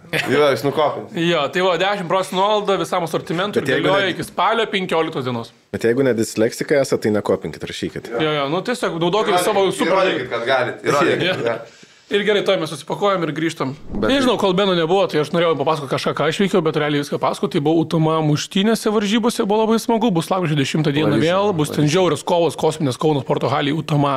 Utma, Utma, liaudiškai Utma. vadina, vadinam Utma labai patogiai skamba. Utma, jo. Tai Utmoje. Bus žiaurių kovų, tikėkimės, niekas nesišauks, jeigu viskas vyks kaip ir turi būti, ir greičiausiai taip ir bus. Tai bus labai labai aukšto lygio kovinio sporto renginys, tai tikrai kas... Jau buvo ir šitas, mačiau. Ta prasme, taip, buvo pirmos penkios kovos, kurios buvo tiesiog, ten mu- mušėsi nepilnamečiai, mušėsi keli aštuoniolikiniai, nu, tipo, nepilnamečiai minėti, kad su šalmais, Taip, tipo, nu, taip, ta, taip, ir buvo ten Lietuvos Muay Thai federacija, kolabas, tipo, su jais. Tai pirmos tos penkios kovos buvo tokios apšilimo, apšilimo kovos ir tai tas jaunimėlis davė iškart tris geresnės kovos, negu būna per visus kitus, ten neminėsiu, Jo, jo. kurios renginius. Tai va, tai čia nereikia, čia net nereikia. Ne, jo, nereikia lyginti, nereikia bet- minėti renginių, bet reikia tiesiog pasakyti. Tiesiog labai labai labai labai geras Jeigu, lygis. jeigu patinka jums kovo, koviniai sportai, tai aš tikrai nuoširdžiai rekomenduoju žiūrėti aukšto lygio solidžius tipo renginius, kur tai daro tipo, profesionalus kovotojai ir tada tu gali iš to daug pasimti, nes tai nėra tik snukelaužis, tai yra tipo, tikrai rimtas O, man labai patiko, ten darė tas muitai visas tradicijas, ten pasimeldžia prieš ringą, pina visą ringą, ten Jo, groja tą muzikėlę, tipo, ten padaro su tuos, tipo, vieni čiuakai, belė kaip žiauri, daužęs plakės, ten žoskai, kalės, kalės, kalės, bum, gongas, bum, apskabina, kur atrodo, nu, aš tikrai neapskabinčiau su tokiais piktais vidais viens kitą talžę, bet tik nuskambėjo gongas, iš karto apskabino, bam, taip toliau, iš karto iš šonus, taip yra sportas, ne Bet taip apskabino nuoširdžiai, jis būna kiti apskabina, čia, gerai, žinai, Taip, galvo tokie, tipo, dėl reikalo. Ne, kart, kartais gali būti, kad ir nenori jie- apsikabinti, irgi viskas normalu. Tipo, kartais galbūt atsiras ir tokio pykčio, kuris jau persikels ir toliau, bet visa, visa esmė yra, kad čia ne tik toko bifai kažkokie, taip pat tarp žmonių, tipo, kurie nieko bendro neturi su kovinio sportu, čia yra tipo, aukštas lygis. Tai žodžiu, neužsiplečiam per ilgai, bet... Bet gerai, jo. Jo, jo, taip va, buvo smagu, tada kas dar įvyko, nežinau, pasidariau tatuiruotę. Huijana tatuiruotė. 10 litų Užskaitau, tatuiruotę labai, labai, labai gera tatuiruotė. E, Cheer Ones išsitatuiravau. Labai patinka. Man visi žmonės sako, kodėl čirikas, kodėl čirikas, tai aš labai lengvai galiu paaiškinti. Uh, Vienintelis pasaulyje. ne, ne, ne. Ne šitas. O tu Ne. žinai šitą? Jo, jo, žinau šitą, bet man pirmas dalykas. visi, tipo, bet čia įdomus. Šiaip, fa, Nu, tai papasakosiu ir jo, bet papasakosiu pirmadinis dalykas, dėl ko aš tai norėjau, tai tiesiog kad pasakosiu kažkam istoriją apie savo paauglystę 15, prieš 15 metų, kur vyko ir sakau, eurai, eurai, taip, ir tada supratau, kad, ble, mes to visi pamiršim litus, ypač jaunesnoji karta. Man tokia faina pinigų valiuta buvo. Nacionalistas yra. Jis taip pat- jis taip pasiūraidys sėdės. Man žiauriai patikdavo litai, tipo, fainos, faini pinigai, man primena vaikystę, žinai, ir man visai mama duodavo 10 litų į mokyklą rytais ir man toks įstrigęs buvo dalykas, taip pat, tai va, nežinau, matys, nesimatys, bet... Turčius, na, 10 10 litų dienai čia? Bet jis tą patį savo šitą labai daug, tipo. Čia dienai. Aš tai tokių Taip, pinigų. taip, Aš klasėj manęs pinigų. neprieidavo. Ne, ne. Pas mus centai vaikšto pas marką kupių. Ble, vargšiukai, tai sunkiai auga ten. Šiaip tu laskovai. Nu, laskovai jaunesnis gerokai, taip pat tu dar litus. e, Jo, jo, aš tai atsimenu, mums duodavo, bet, bet ne, šiaip, šiaip man, kai pradėdavo duoti pinigus mokyklai, jau eurai buvo iš tikrųjų. Rimtai? Du Nes penk- Pala 2.15, seniai, o taip pat tu esi kelintų. du pirmų. Du pirmų, tai tau buvo 15-14. Tau iki 14 metų net neduoda pinigų mokyklai. Mes turėjom, mes kadangi, tipo, mes didelė šeima esame, mes didelė šeima, mes, tipo, šeši žmonės, aš turiu tris brolius ir mes, tipo, gaudom tą nemokamą maitinimą, e, kadangi n- neturčiai buvom. Kažkada- Žiauriai vieni žmonės. Aš, tipo, aš kada, aš, tipo, iš šūliai, tipo, ten 11-12 klasį varydavau pastoviai, tipo, kačialka būdavo, tipo, aš ten varydavau, tipo, sportuodavau ir, tipo, dėl to, tipo, bilenkiek ten valgydavau, žinai, tipo, būdavo viskas, tipo, auktum, ten, tipo, valgyti. Ir aš taip pat eidavau valgyklą ir ten vat, būdavo sudėta, va, tiems, tipo, kas gauna ten tas tos maistus. Yeah. Aš tiesiog kažkada vieną kartą atėjau, žiūriu, o, paliktas, nes palikdavau, kai kurie ten ar serga, tie pradinukai, o jiems paruošta, bet jų nėra. Sakau, o, žiūriu, yra, taip pat ten dvi lėkštės, taip pat ten tos du korlius pasėmiau, sukirtau, sukirtau. Ir taip valgau ir prieina vaikas ir sako, atsiprašau, jūs valgot mūsų maistą. Matai, matai, to laiko pagaila. Aš tada aš jam senį nuėjau ir aš jam nupirkau, taip, tiesiog kepsnį, kaip mokytai valgo. Jo klasiokai valgė tos katlėtukus su bulvių košiais, tai tipo, bam. Taip, šnycelį pasiėmė. Jūratės kepsnis, žaidė, gražiai, tipo, va, lapnoja. Buvo labai, vaikų gera dienelė. Bet šiaip mes- aš žia- žiauriai ten valgydavau tos, nes aš neišrankus maistui, man skanus, pat tas, tiesiog tas paprastas, paprastas maistas, žinai. Ble, aš taip- kažkaip nevalgydavau pirmojo savo šūlį, šie valgyklai man būdavo no-go, ten pizda tragedija, bet kai atėjau į gimnaziją VDG, tai žiauris, kanu būdavo valgyklai, tikrai labai laukdom penktadienį, ten būdavo išskirtiniai patiekalai, penktadienį atskiras meniu kažkoks. Tai, Sušis darytas. Centrinis. jo, jo, jo. Centrinis. ne, nu, tai tu nuo tartaras. e, Kambučias. Kambučias. Tik tokia didelė kaip arbata, bliūda, kambučia plus. Himariko, okei, gal ne. Jo, tu nuo tartaras suvalgai. Tartalėtės, ble. Lops, lobsterių priš- prišauni ir eini į pamokas toliau. Na, pas jūs šalioj kažkaip čia, e, nežinau, ar, ar fake story ar ne, bet krokodilas yra kažkada buvęs VDG. Mano pusbrolis mokėsi irgi VDG ir pasakojo. Kaip narkotikas įva papuolė. Kokią formą? Tikras krokodilas tenais buvo, tipo, kaip, kaip, kaip nesąmonė? gyventojas, tipo. Tikras krokodilas gyvena mūsų mokykloje. Jo, jo, jo. Nu, tipo, terariume, ne, ne, ne laisvai vaikščiai. Ne, žinok, mes gyvename, mes, nu, nesąmonė. Ne, Krokodilas dandis. ne, nu, blemba, tikrai ne. Ble, gal aš įsigalvoju. Gal kitas gyvūnas buvo. Ne, aš, arba labai patiklus vaikas buvo ir štai žvengdavo tau meluojamų dalykų. Tipo, Vėžlys, akivaizdžiai. ten maksimum, maksimum vėžlys. Krokodilas, vaikų šūrė, nu čia bet čia, čia skamba labai, nu, ne- blogai skamba. Išstūmė tartarus penktadienį. Čia skamba kaip sekundė iki katastrofos. Visa valstybinė įstaiga, mokykla, ten kur Nu. ribotas, viskas, Kur laiko to, toj pačioj mokykloje, kur čiūvai tulikus bombioškiams sprogdina, yra dar krokodilas. Kurį galima išlaisvinti. Su viena bombioškė, krokodilas pašūlė vaikšto. Setapina prankai. Nu jo. Ne, ne, Dovė, nesąmonė, tu prikalbėjai kažkokiu, tikrai nėra buvęs krokodilo jokio. šiaip tai, va, kur, tai pažiūrėjau, panevežinės, Laskovas Mindė yra iš panevežio, taip pat, tai kur panevežė ir Indijoje, taip pat, kur sunkiau išgyventi. Geras. Aš niekada neturėjau panevežį problemų iš tikrųjų. Nu, tipo, broli Tai turi. turėjo problemų. ne, aš turėjau, tipo, kaip, nu, tipo, turėjau, bet niekada neapsunkino manęs. Ai, pala, tu, tu, pala, antras, ne, brolis esi. Jo, antras. Turi dar vieną vyresnį, tai vis Turiu tiek vieną gerai, kad vyresnį. Jau ramiau vis tiek būna. Ne, bet tarp trijų brolių kiaugis tiek kompetitiv turi būti, ne visą O jo, laiką. tai bet šiaip, šiaip realiai, taip, aš pamenu, kažkada tipo, buvo toks skandalas, tipo, kaip pavadino, tipo, skvernelis, tipo, pavadino Latviją, tipo, konkurentai, žinai. Ir ką, kaip čia jis vadino, tipo, čia mūsų broliukas, broliukas, tipo, aš tai galvoju, blėt, parodyk man, parodyk man brolius, kurie nėra konkurentai. Tu nuo mažens esi konkurentas, kad gautum kažkokį skanesnį kasnį, ten, tipo, kad, tipo, varžotės tarpusavį, ten kas ką žino, tipo, tėvams, Nu, čia- kad jis mus pasakys, tipo, čia naudų turėt konkurentų. Čia visiškai normalu, tipo, jo, ir, tipo, realiai, tipo, aš tai manau, kad Latvija mums tikrai yra konkurentė, dėl to visą laiką Indijui sakiau, kad aš iš Na, bet mes pėsame vienus vardus kelinti metai tos Latvijos, tai žinai, čia tokie konkurentai. Jo, ką šią atsisukti, pabandyti dabar. Ir esmė tame, kad e, Latvijai, tiesiog kiek aš važiuodavau ekskursijų laik pro Latviją, važiuoju pro miestelius ir ten atrodo, kad ten negyvena žmonės. Nu, bet senio pas mus, kai važiuoja Lietuva, irgi panašiai. Tipo. Nu, bet ten ypatingai, žiūrėjau, bet kur važiuoju pro visai, nu, nemažai. Bet, Bet Utenos e, didžio miestą, tiesiog, blėt, matai, kad tiesiog du bomžai kilimus suiniuoto neša visus. Bet, bet Bet, kad jo, gražus. Riga gražus miestas, taip senamės. Rygos man taip patinka, jisai, taip, jisai atrodo, taip, Jie turi, ble, žiauriai gražų tą tiltą, ble, per tą visą prieplauką, visą uosto, tipo, toks, nu, tipo, didelio miesto tiltas. antras po San Fran- San Francisco. Jo, jo, jo, tikrai įspūdingas Ne, tiltas. gražiai atrodo, taip, ir šiaip, taip, kadangi ten tiek ta upė, žinai, ir, ir, ir mie- miestas, taip, man tikrai Ryga, ta senamešio dalis, nes ten realiai yra Ryga senamešio ir po to ten va, tas, per tą tiltą realiai atsiskiria visai kita, taip, Ryga.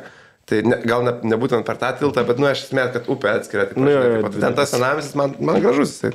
Ir viskas, ir, ir, ir šiaip, nu, tipo, Latvijai, kaip bebūtų, jie, tipo, nu, vis tiek mūsų broliai tikrai yra, tipo, mes su jais dalinamės tą Bet panašią. aš nėra, kad nemėgstu Latvijos, aš, tipo, gerbiu ir... Tipo, O jo, man tai viskas. ir labai džiaugiausi Latvijos rinktinė. Jo, aš, taip, aš, jo, jo, netgi jo, džiaugiuosi, taip, nu, tipo, aišku, nemalonu, nefaina, kad, tipo, Padarė mus taip. padarė mus taip, bet aš džiaugiuosi, tipo, tipo tikrai, tipo, iš Nes niekur. kaip mes kalbėjom, biškai pakėsė, su Viktoru, kad nu, pažiūrėk, kaip jos sutiko ir kaip lietus būtų sutikę, jeigu būtume mes tą penktą vietą paėmę, žinai. jo. Jie paėmė penktą vietą, jos sutiko minė 10 tūkstantinę, tipo, tai duokim pasidžiaugti biškiam, žinai. Jo, jo, Jų nauja pradžia kažkokia Ir tikrai, tipo, jie, tipo, nugalėjo lietuvius, kur mes, tipo, lietuviai istoriškai visą laiką ant kažio buvom kėti, tipo, čia mūsų sportas. Tai čia žiauriai svarbu. Man net negaila, joks, tipo, žinai, pasidžiaugit. Jie stoja vėl taškysim. Jeigu mes ant ledo rytulio kažkada Latvijos nupisim, tipo, tai aš labai džiaugsiuos, tipo, bet taip, čia niekada, niekada Bet nebus. esame kartą gal laimėję, kokios draugiškas. Nu, ne, nežinau, tipo, bet iš tikrųjų Latvijai seniai ledo rytulį ten šviesmečiais toliau už mūsų. Jo, dabargi trečią vietą Ten pasaulio jau numeris- Amerikonus ganukalė. Ką? Amerikonus nukalė. Pasaulio čempionai ten trečią vietą paėmė. Numeris vienas, tipo, yra jų sportas, tipo, žinai, tipo, nu, tai, tai, tai ir dabar džiaugiuosi jiems ir kažkai geri metai, ir fuliai tikrai smagu už Latvijos. Jo. Tai tu prie Latvijos gyvenai, tu čia arčiausiai Latvijos, tipo, Ne, panė. aš pasimečiau vienu metu, kas vyksta, ką čia mes kalbėjome apie brolius, tada apie Latviją ir tada apie Rygą. Kas tau yra, o tas Indijos atsigauk, viskas vyksta taip pat greitai šiame pasaulyje. Gerai, koks indiškas patiekalas labiausiai patikdavo, kur jau ateidavo, žinodavai, kad maždaug galim. Žinau, tika. Chicken tika. Chicken tika. Chicken tika. Kaip krūtinėlė, tiesiog kaip šašlykas, toks iškepta, tipo vištienos, taip aš svogoniukai šalia, taip padažiukai kažkokie. Šiaip tai nebuvo, kad maistas būtų blogas. Ne, jis nebuvo blogas. tiesiog po to jau ten trečią tą savaitę užpiso. Tiesiog valgyti tas, tas išmirkytus ryžius ten dar. Ja, va čia ir problema, kad viskas labai mirkyta tiesiog Ir, buvo. ir viskas labai to prieskonių daug, tipo, Jo, ja, ir visur prieskonių vis daug. prieskonis užvaryta, to, to aštrumo kažkaip tipo, nemažai tikrai. Jo, ačiū Dievui, kad atradom popcorn chicken karočią KFC. Mes vieną dieną kalbėjom su Benu, kad jisai, tipo, kad jisai milijoninį idėją turi, tipo, kad Aš atvešiu, popcorn chicken į Lietuvą. chicken. Ir aš tuo metu žiūrėjau tavo, tipo, reklamą, kaip atsika popcorn Aš gaunu chicken. popcorn chicken su burnu. Katedros aikštė. Ne, Markas aplenkė.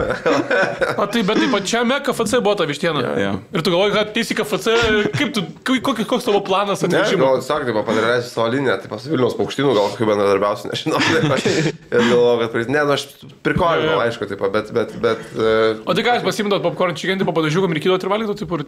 taip, pat tiesiog popcorn chicken labai patiko kažkaip. Jo. Skanus, skanus. Skanus, geras, taip, bet ten dar tais prieskoniais jų tokiais gerai. Buvo. jo.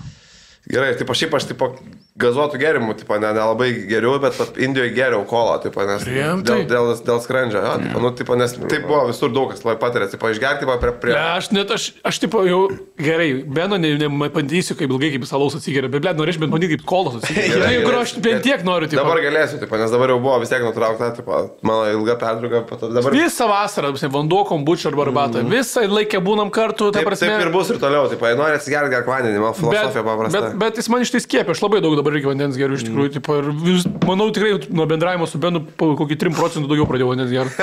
Taip, Markas viską paskaičiavo. Jo, jo, aš. Vadyb- Vadybininkas, jis jau viską atsitraukė nuo to. Jis tipo komikų, bet jis nori vadybininkų.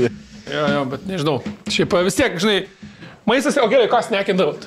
Kas užkandžiai būdavo? Būdavo skanių. Bet nebūdavo, kad mes labai turėdam užkančių, nes e, tiesiog visą dieną važiuoji ir tiesiog vakare pavalgai ir atsikeli. Ne, to, jeigu ten kimarinom tose viešbučiuose. O kai kimarinom, tai... tai- jau tiesiog, kaip...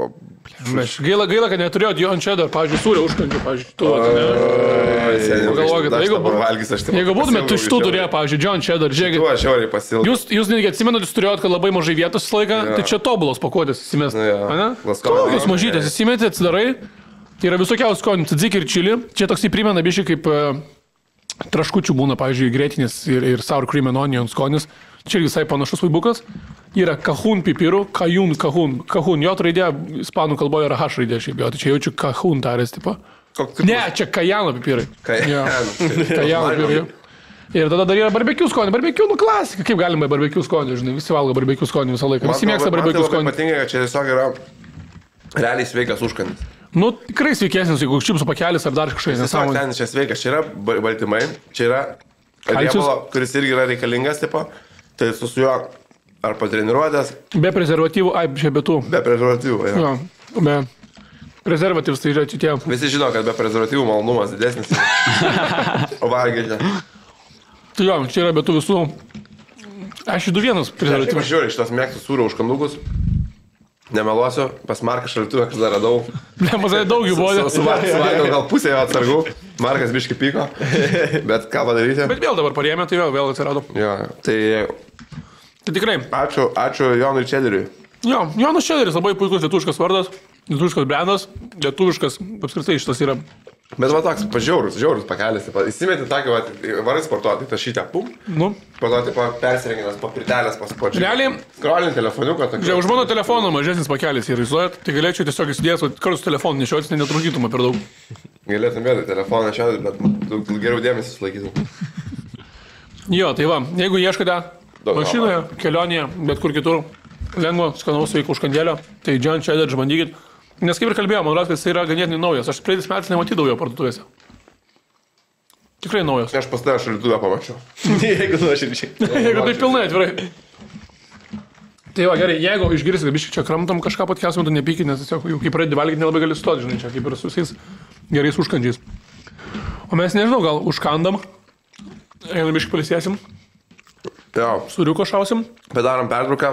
Laskovas pasakys, ar dar nori pabūti su mumis antroji daly, ar nenori.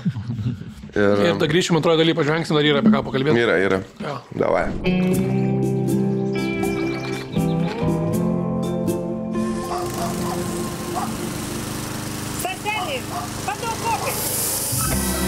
Utenos Radler nealkoholinis. Ne vaikiško gaivumo. Reikia tik atsukti. Tai Gerai, pala, dar gerai, pirmas dalykas, šiaip esu, vat, kaip esu, norėčiau manyti, kaip Benas geria kolos, Benas geria ne kolos, geria dar geresnį dalyką per peruką, Benukas atsidarė raleriuko ir geria šiaip visai Labai jisai vengdavo. Jo, yra geresnė, bet labai privengdavo. Taip, pat, bet aš jo, aš dėl... Jisai privengdavo tų gazuotų gėrimų ir taip, jeigu atsigerdavo, žinai, nu toks, kur, tipo, nu gerai, atsigersiu, žinai. Nėra, kad jis nemėgsta būtent ralerių, jis tiesiog vengia gazuotų gėrimų. Man, Nes aš- mes aš- taip Aš liumpinam, mėgstu seniai visus tos gėrimus, tai va dėl to aš jų ir negeriu, taip pat. Aš per daug jos mėgstu, taip pat. nes mes taip liumpinam normaliai, čia taip panaikinam, žinai, ir Bensi dabar irgi jau po truputį, po truputį pilnai perėjo mūsų gretas, tai smagi. Liukas gerai. Ja, tai labai labai smagu, šiaip ačiū, raleris laiks su mumis kartu. O Bensi, ką, vakar jau naktį. buvo pasakoti, taip pat, Misija istorija, Laskovas dar negirdėjo, Marko jau buvo užsiminęs, Dovis irgi nežino. E, Esmė, kad mum, mano, mus, mes atidarėm šiaip mažą bendryją, galim irgi pasakyti, kad hiparikai dabar yra mažoji bendryja, mes jau dabar nesam čia kažkokie tiesiog sus- nusikal- nusikaltėlių gauja, mes esame, mes esame. Mes legalizavome, Mes žodžiu. legalizavomės, mes esame legalizavęsi, bahuriukai. Pasveikinkit mus tuo, linkiu visiems bahuriukams legalizuotis. um, Nes tie, kurie nesilegalizavo, baryga botai visokie, jau šiandien reikia čiupo visą tinklą. Iki gyvos galvos žada sėsti. Rašėt komentaruose, ten ką jūs čia, tipo, pisat protą, kad čia, tipo, mentai, mentai seka, tipo, va, prašau, visą. Ir jaunai Lietuvos policijos puslapį akivaizdžiai yra parašyta, yra straipsnis. Ir, tipo, vis, vis, Pagavo, visus, blet. kas ten jūs perkat, jūsų duomenys irgi kažkur. Tai sėkmės tiem, kurie pirko jau. Atsintė man kortelę hi- hiparikų, kurią mes nau- naudosim ten būtent dar, dar, darbo reikalams, visokiems ten studiją įsirenginėdami dabar vėliau ir, ir, ir, kitiems dalykams, verslo pietums, kur kviesime žmonės, taip pat savo būsimus partnerius. Tai, tai va, tai toks gyvenimas, kai esi legalizavęsis. Tai atsiuntė kortelę, o mano raktai nuo pašto dėžutės yra Indijai tai palikę, nes mano būto raktai liko Indijai vieni. Aš turėjau čia atsarginius, ačiū Dievui, buvo atsitiviško atsitiktinumo dėka, buvau juos palikęs tai pas savo tėvams, nes norėjau paprašyti vieno dalyko. Šaltybaršius palikti. Kad šaltybaršius paliktų, jo, kad šaltybaršius paliktų, šaltekai išgelbėjo, kad aš namo eičiau. Tai bu- buvau, pali, buvau palikęs, tai aš namo ėjau, bet pašto dėžutės aš jau nebeturiu niekur rakto ir tos kortelės reikia, mums jau reikia pirkti dalykus. Tai man vakar Ma- Markas parašė, vėlai tu man parašė, apie 12 gal Jo. vakarą. Apie 12 nakties parašė, kad mano turi būti pašto dėžutė, taip pat ta kortelė. Ir aš tada atėjau pasižiūrėti, tipo, kaip ten kas, taip, iš pradžių tik apsižiūrėti, apsidaryti, ten biškai paklybinau, paklybinau. Galvoju, nu aš netidarysiu jos, aš Kaip neturiu. tikras vagis atėjo, apsižiūrėjo, jo, jo, apsižiūrėjo, jo, grįžo aš- vėl, aš- toliau pastą planą. Norėjai sakyti kažką. Ne, keista, tiesiog iš savo pašto dėžutės, žinai, vokt kažką. Jo, jo, taip, Ir toks jautin, kad Aš, aš, aš, nusikaltimą aš darai. praklybinau ją taip ir nuėjau toliau, tiesiog atsiguliu, laukiu, nu ką aš padarysiu ir tą guliu, guliu ir galvoju, ne, reikia kažkaip išimti, ką, taip, kaip čia bus, aš dabar kviesiu, taip, kad man pašto dėžutė, taip, išlaužinėtų ten tos tarnybos. Gaisrinė, blė, važiuoja, šeši žmonės su bulgarkė. Į Google vedu kaip atidaryti paštą dėžutę be raktą. Ir seniai 2004 metų formą skaitau. 2004 metų formą, tą internetą, kur jau paliktas amžiams, kur ten jau nežinau, kada kas eis. Bet ten komentarių, su lomu, lauž ten kažką. Lauž ten su, su lomu, su atverkė, veikia galvo, su atverkė, okei, okay, pasėmiau. Ir kitas buvo, he he he, kaip kad rusai sako. Pomoščių loma į kakojto materiją. Nežinau, ką čia reiškia, šią naktį, bet bet rusai taip sako. Ir aš pusę dviejų nakties nusprendžiau, kad aš dar einu. einu aš nusprendžiau, kad aš einu dar pabandyti. Papadročinti. Užsidėjai kaukę, tikiuosi. ne, neužsidėjau, bet taip, ateinu, su gūdu atsuktuvu, ten bandau minkyti, paklibinti, jau nervas ima, prakaitas muša, taip, ten, taip, tampau, visai daužau, neatsidaro, taip, klibinu, klibinu, klibinu. 20 minučių aš ten prasismokiau. Ir tada, tipo, kaimynio, duris atidaro, aš akim išspraugusiam žiūriu į mane, taip, aš sakau, viskas gerai, čia aš sakau, man, man užsikrito pašto dėžulė. Ir tada, tai ką, taip, atsikraugas išsigandus, žinai, buvo nuslaipinį, realiai, tai kaip sakai kažkiek. Tai taip, toks jokinga, kad realiai įsilaužinėjau savo pašto dėžutę. Ir Ir čia ryte atvariau, mes su Benti bam bam išlaužėm. Greitai Greitai, kažkaip reikia, be problemų. Čia mes su komanda esam, hatovo. dabar liko išlaužta, taip, jinai. Jo, ir kai mėnes mė, aš dar atsiminiau istoriją, nes tam pačiam panašiam rajone gyvenau, kur iš Vilniuje nėra pagarsėjęs kaip saugiausias rajonas, bet nėra pagarsėjęs kaip ir labai nesaugus. Nu, toks per vidurį. Koks? Krasnuhamus. Nu, Ai, taip pačia? nu jo, čia mano senam būtė buvo. Nu, krasnukas šiaip buvo savo laiku pagarsėjęs, Jo. kaip nesaugiausias. Aš kai gyvenau, aš nesudurdavau su nieko. Nu, vieną kartą buvau sudūręs su tokia įdomia situacija, tiesiog savo... Bet aš čia daris geras. Jo, beveik viską ir suvalgėm, rodos, ką, ką, ką, ką turėjom čia visus šešis pakelius. Ir žodžiu, e, buvo keista situacija vieną kartą jo, kai aš tiesiog einu į savo laiptinę, kur yra, nu, ten senos atybos būtas, tokiam, nu, kur daug tų tokių žmonių tikrai nepasiturinčių ir, taip, ir tokių visokių alkoholiukų yra ir visko, žinai, ir aš einu į savo laiptinę. Naktį, kai 12 nakties, du bičiai, akivaizdus frairiai, prasigėrė tokie varčiai šokie, vagilkos, pasistatė elektrinį dviratį šokis, dvi su pusė kavalkos, laiptinį, tokie mane pamatė. Ir tam draugas sako, nu tai imta savo dviratį, nu tai varom, važiuoju. Bando apsimės, kad čia tas dviratis. Jo, jo, kad jie 12 nakties dabar pasivažinė čia varo su elektriniu dviračiu. Ir aš toks jos pažiūrėjau, labas vakaras, labas vakaras, labas vakaras, kažkas to kuprinikė ten jau sega savo. Nu jau iš karto į hatą paskambinau policijai, sakau, čia tokia tokia laipnė, sakau, nemanau, kad ten jų dviratis, sakau, bent patikrinkit, žinai, bet aš nežinau, kaip baigęs morozė išvarė.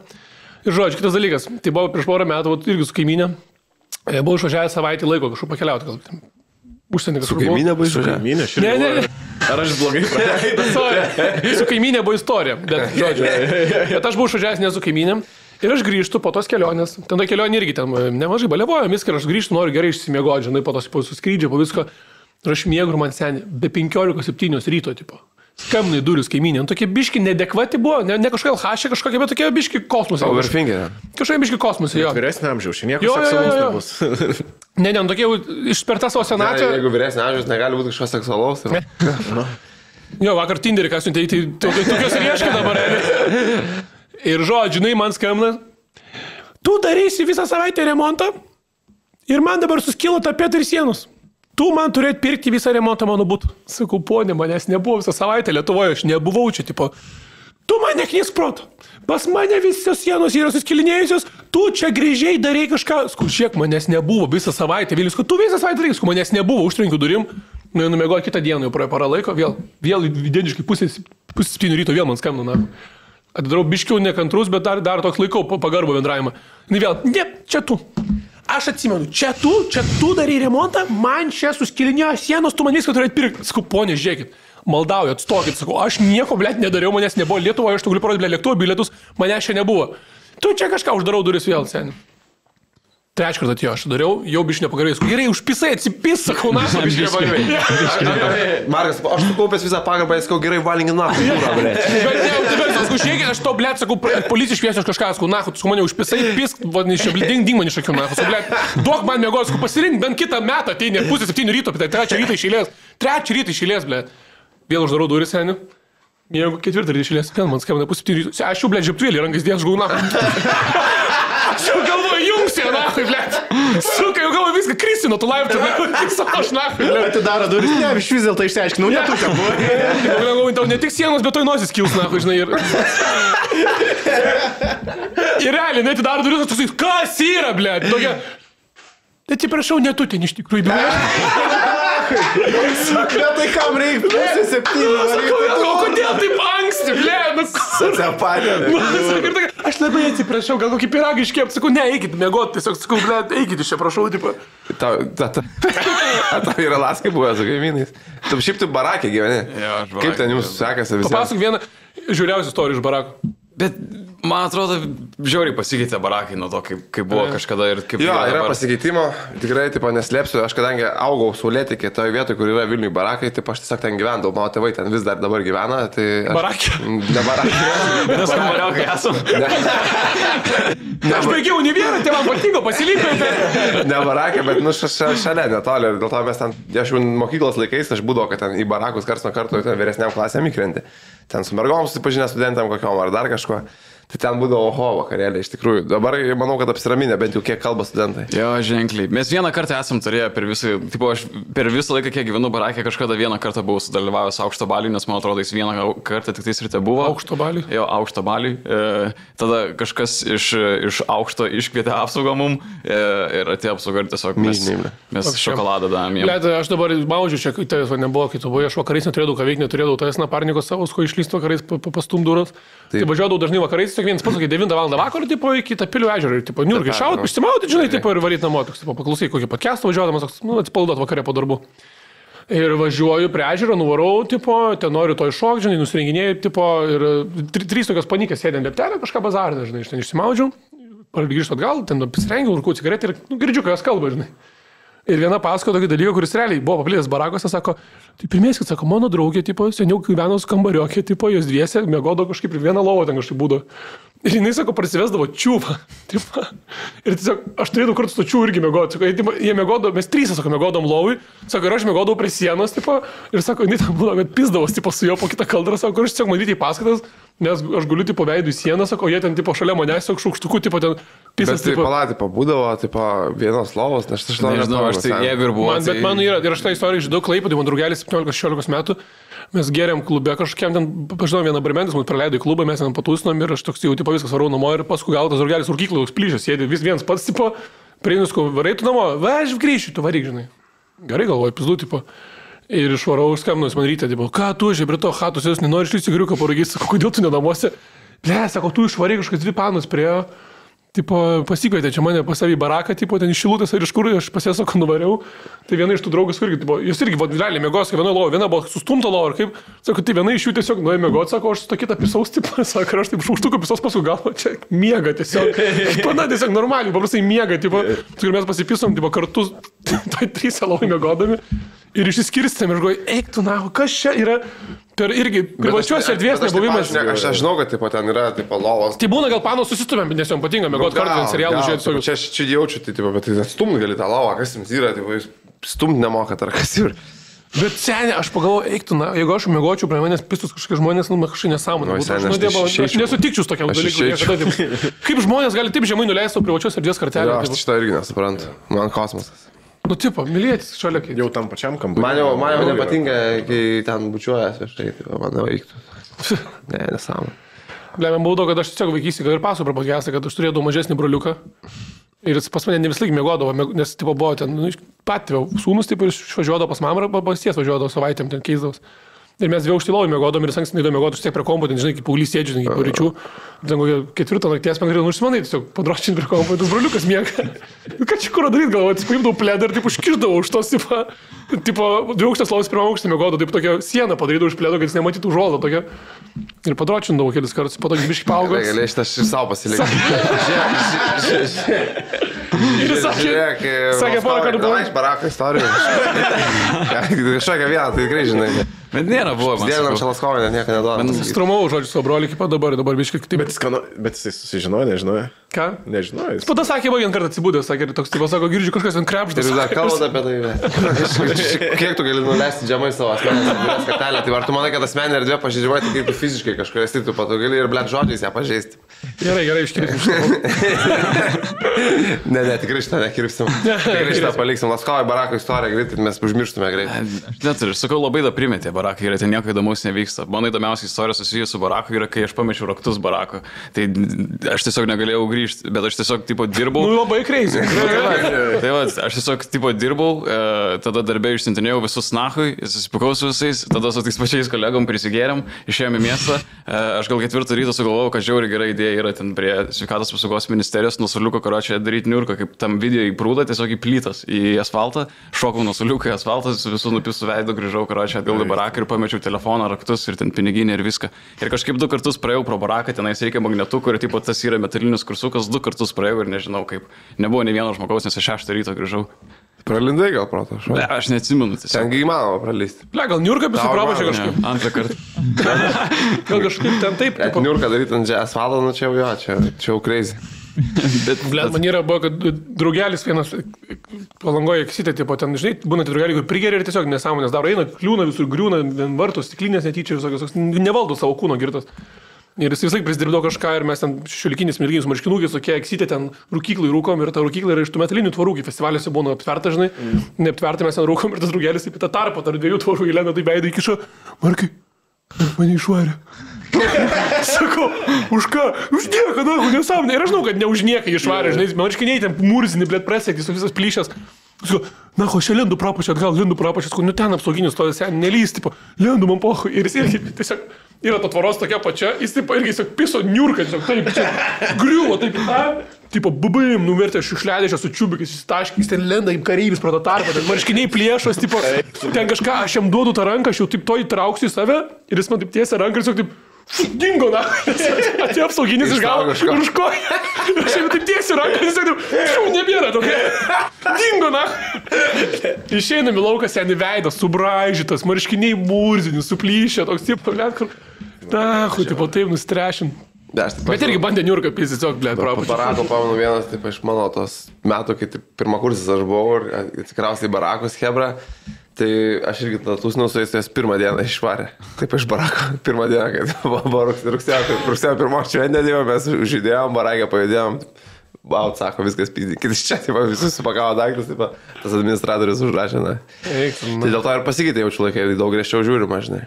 blem, Aš nežinau, ar daug gražiau, pavyzdžiui, pas mus ypač žinau, kad kažkuriam barakė yra apsauginis, pas mus barakė net nėra apsauginis. Bet žinai, dar kas laik būdavo, būdavo, kad kiekvienais metais New York'e, o tu, va, ta, tas vadinta vieta vadinasi New Yorkas, žinai, kur tu, nu, tu žinai, jo. barkas gal, nežinau. Žinau, žinau. Žinau, ne New Yorkas, tai va tas New Yorkas, sulėti, kad tie barakai ten kiekvienais metais realiai kažkas iššokdavo, tipo nusižudydavo. Jo, Čia irgi tiesa. Iš tų tai balkonų jo, ten taip irgi žiauru. Taip, Bet žinot, kas dar Lietuvoje yra šiaip pasikeitę ir nebeįdomus žudas, tai Lietuvos talentai.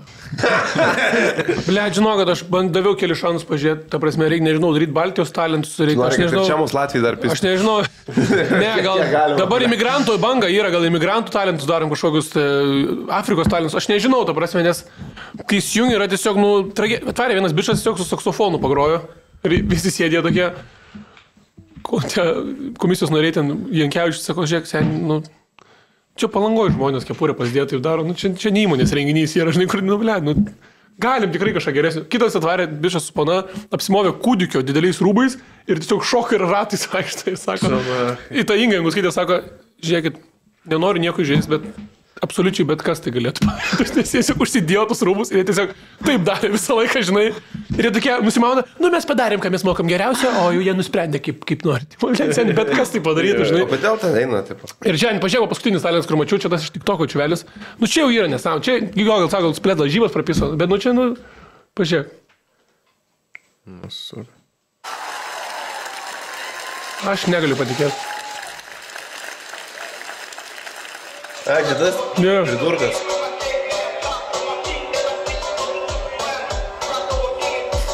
čia apie talentas yra odos tampimas. Programuoti. Čia.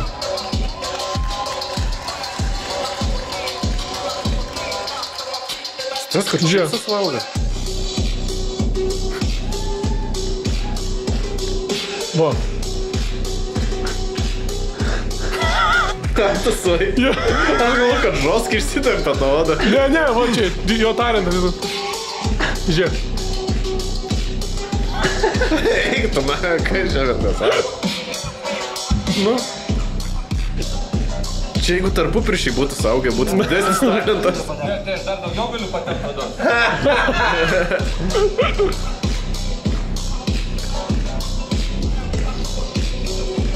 Ir ta muzikytė tik tokia. nu, Jo, jo. Mūsų nedės ką praeitą.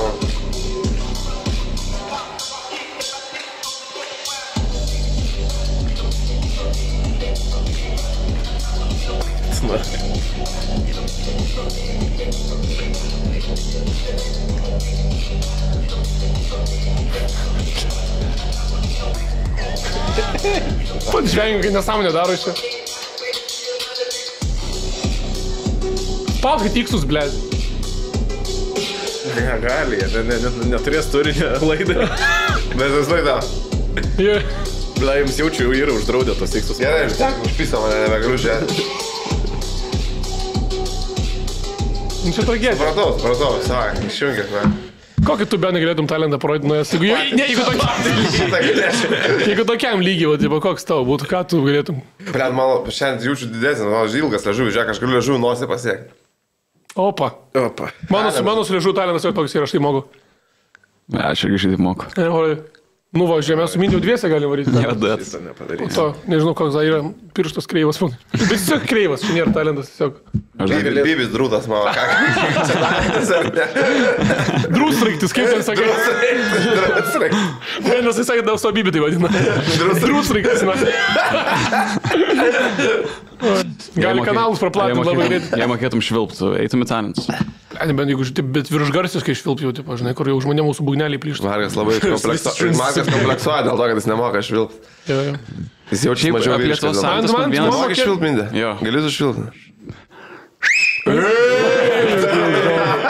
Indijai naudoji bent kartą šitą galę. Sakiau, kad bachūras. blet. Naudoji indijai šitą galę. Sakiau, kad bachūras. Viskas. Man sakau, čia man yra super talentas, man čia super galė, na. yra tiesiog. Ne, nu, ble, šitas švilpimas tikrai už tavo dostampimą geriau. Ble, bet jo, ką darys tais Lietuvos talentais, nu, bet ta prasme labai yra šiaip sudėtingas formatas 3 milijonų nacijai, taip pat net Taip, taip, taip. 3 milijonų. Seniai aš netgi būna per TV6 įsijungiu ten Amerikos talentus, jau Ir ten nebėra, jau ten šūdas, tipo, ten Ne, tiesiog. nu, tai reikia naikinti tą laidą ir viskas, o tik, tipo, Aš visiškai sutinku, nes mes... pasirašyti kontraktai kažkokie yra, taip pat ten su tais. Bet, tipo, bet jinai, tipo, man e, labai jokingai yra tas, kad labai lietuviai bando modernizuoti, tipo, tą, tą, tarkim, Lietuvos talentų laidą. Ir, pavyzdžiui, tarkim, ten ar Amerikoje, ar, ar, e, ar Anglijoje, tipo, yra tas Golden Buzzeris, karačia, kur, tipo, jeigu jau žiauriai patinka, tipo, spaudi tą ir ten tiesiai, ten jo, tiesioginės jo. transliacijas keliauji. Ir, tipo, Amerikoje, ten ar, tipo, UK, ten, karačia, vyksta taip, kad, tipo, pasirodo, ten, tipo, paploja, paploja ir po to, oi, taip netikėtai, tipo, tą Golden Buzzerį. Ir Lietuvoje padarė, kad tą patį Golden Buzzerį, bet šone. Ir, tipo, ir vyksta dar pasirodymas ir pasirodymo metu tiesiog Mikutavičius eina karačia. Jo, tai buvo huijerinė. Kur tas žmogus man dar testa, aš čia jau, jau Tai nebe. paspaudžia tą Golden Buzzer ir tiesiog grįžta atgal ir dar daug vaikas žiūrėti tiesiog pasirodymą. Le, nesąmo. Ne, ne, per daug. Daug įgūdžius, ne. Le, nežinau, galėtų būti tada iš vis. Ne, nu taip pat. Aš tai siūlyčiau tai laidai. Na, tas padaro talent ir tada Benas mėgina tą patį. Aš būčiau atskaitos taškas. Jeigu aš galiu, tai nieko čia nedarė. Nes aš neturiu talentą. ne. Bet aš taip, pavyzdžiui, pagalvojau, mes esam kalbėję apie tai, tipo, kad, kad, kad, kad, kad mes tai tie pavat, kas ten komikai ar kas podcasteriai, dar važiai, tai kad mes nelabai talentų taip turim. Nes mes kalbam, tipo. Jo. O, o aš Markui sakiau, su pas mano atvira yra tokia, tipo, ant bazaro, tipo, žmogus, tipo, išsivysto tada, kai jis neturi kitų talentų. Taip, kai taip, tada tau reikia kovoti už būti, taip, savo žodžiai, žinai, tada taip, tu tą išvystai. Tai man atrodo, kad mes tiek, aš šiandien spidėlinam, tai mes net, net, net, netalentingi. Ne, aš tai moku dantim groti, iš mykai išmokau. Rimtai? Davai, parodyk. Trupė gali būti.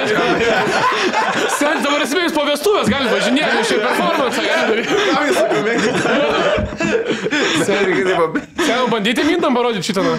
Ne, Jie ten tai fūrų išpratė būtų. Geras. Geras, nu, čia, čia, čia tai tikrai užduos tampimo daug didesnis talentas, bet iš šitas laimėjo kažkada. Ne, Bet seniai, bet... Prikin Lietuvos talentai, kai sako, kasmet laimi dantim, kad vis, vis geriau ir geriau. Kurių dubstepo kažkoks sugeba išgroti, tai buvo tiesiog. Infinity išgroja dantų.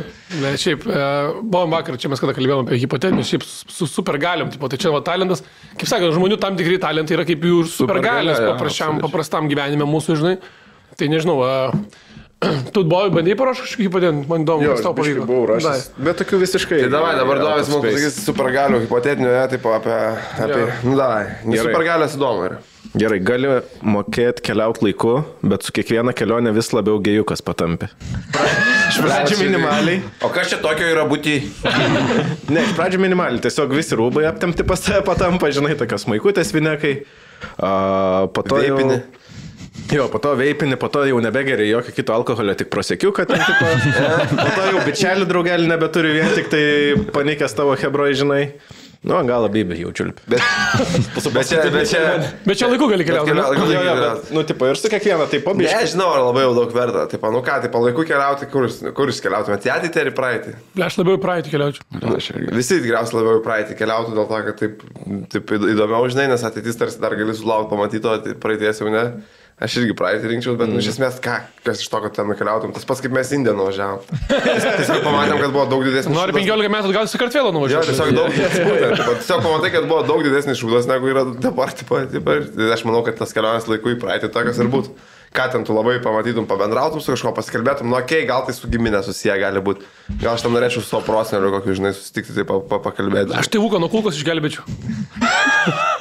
Bet tada viskas pasikeistų kaip per draugo efektą. Tai, tada, Ble, jaučiu jo, tada aš tiesiog dirbčiau oficinę 9 iki 5. Nes manęs niekas nebūtų traumavę vaikystėje, aš tiesiog nebūčiau komikas, būčiau tiesiog... Bent tau nereiktų to, ble, dėmesio perteklinio. Kilo health, tiesiog būčiau programuotojas vyresnysis ir viskas. Ir Lietuvos talentas eitum, tipo, odą tampyti. Kur daugiau? To, gerai, aš pavyzdžiui, kokį nors duosiu vienam. Davai. Gerai. Mes žinom, kad netu rašiai. Ką, ne, ne, čia aš viską. Netu rašiai, tai Aš žinom. kad- skaičiau vakar, ble, dvi valandas Žinom, kad tu jai naudoji.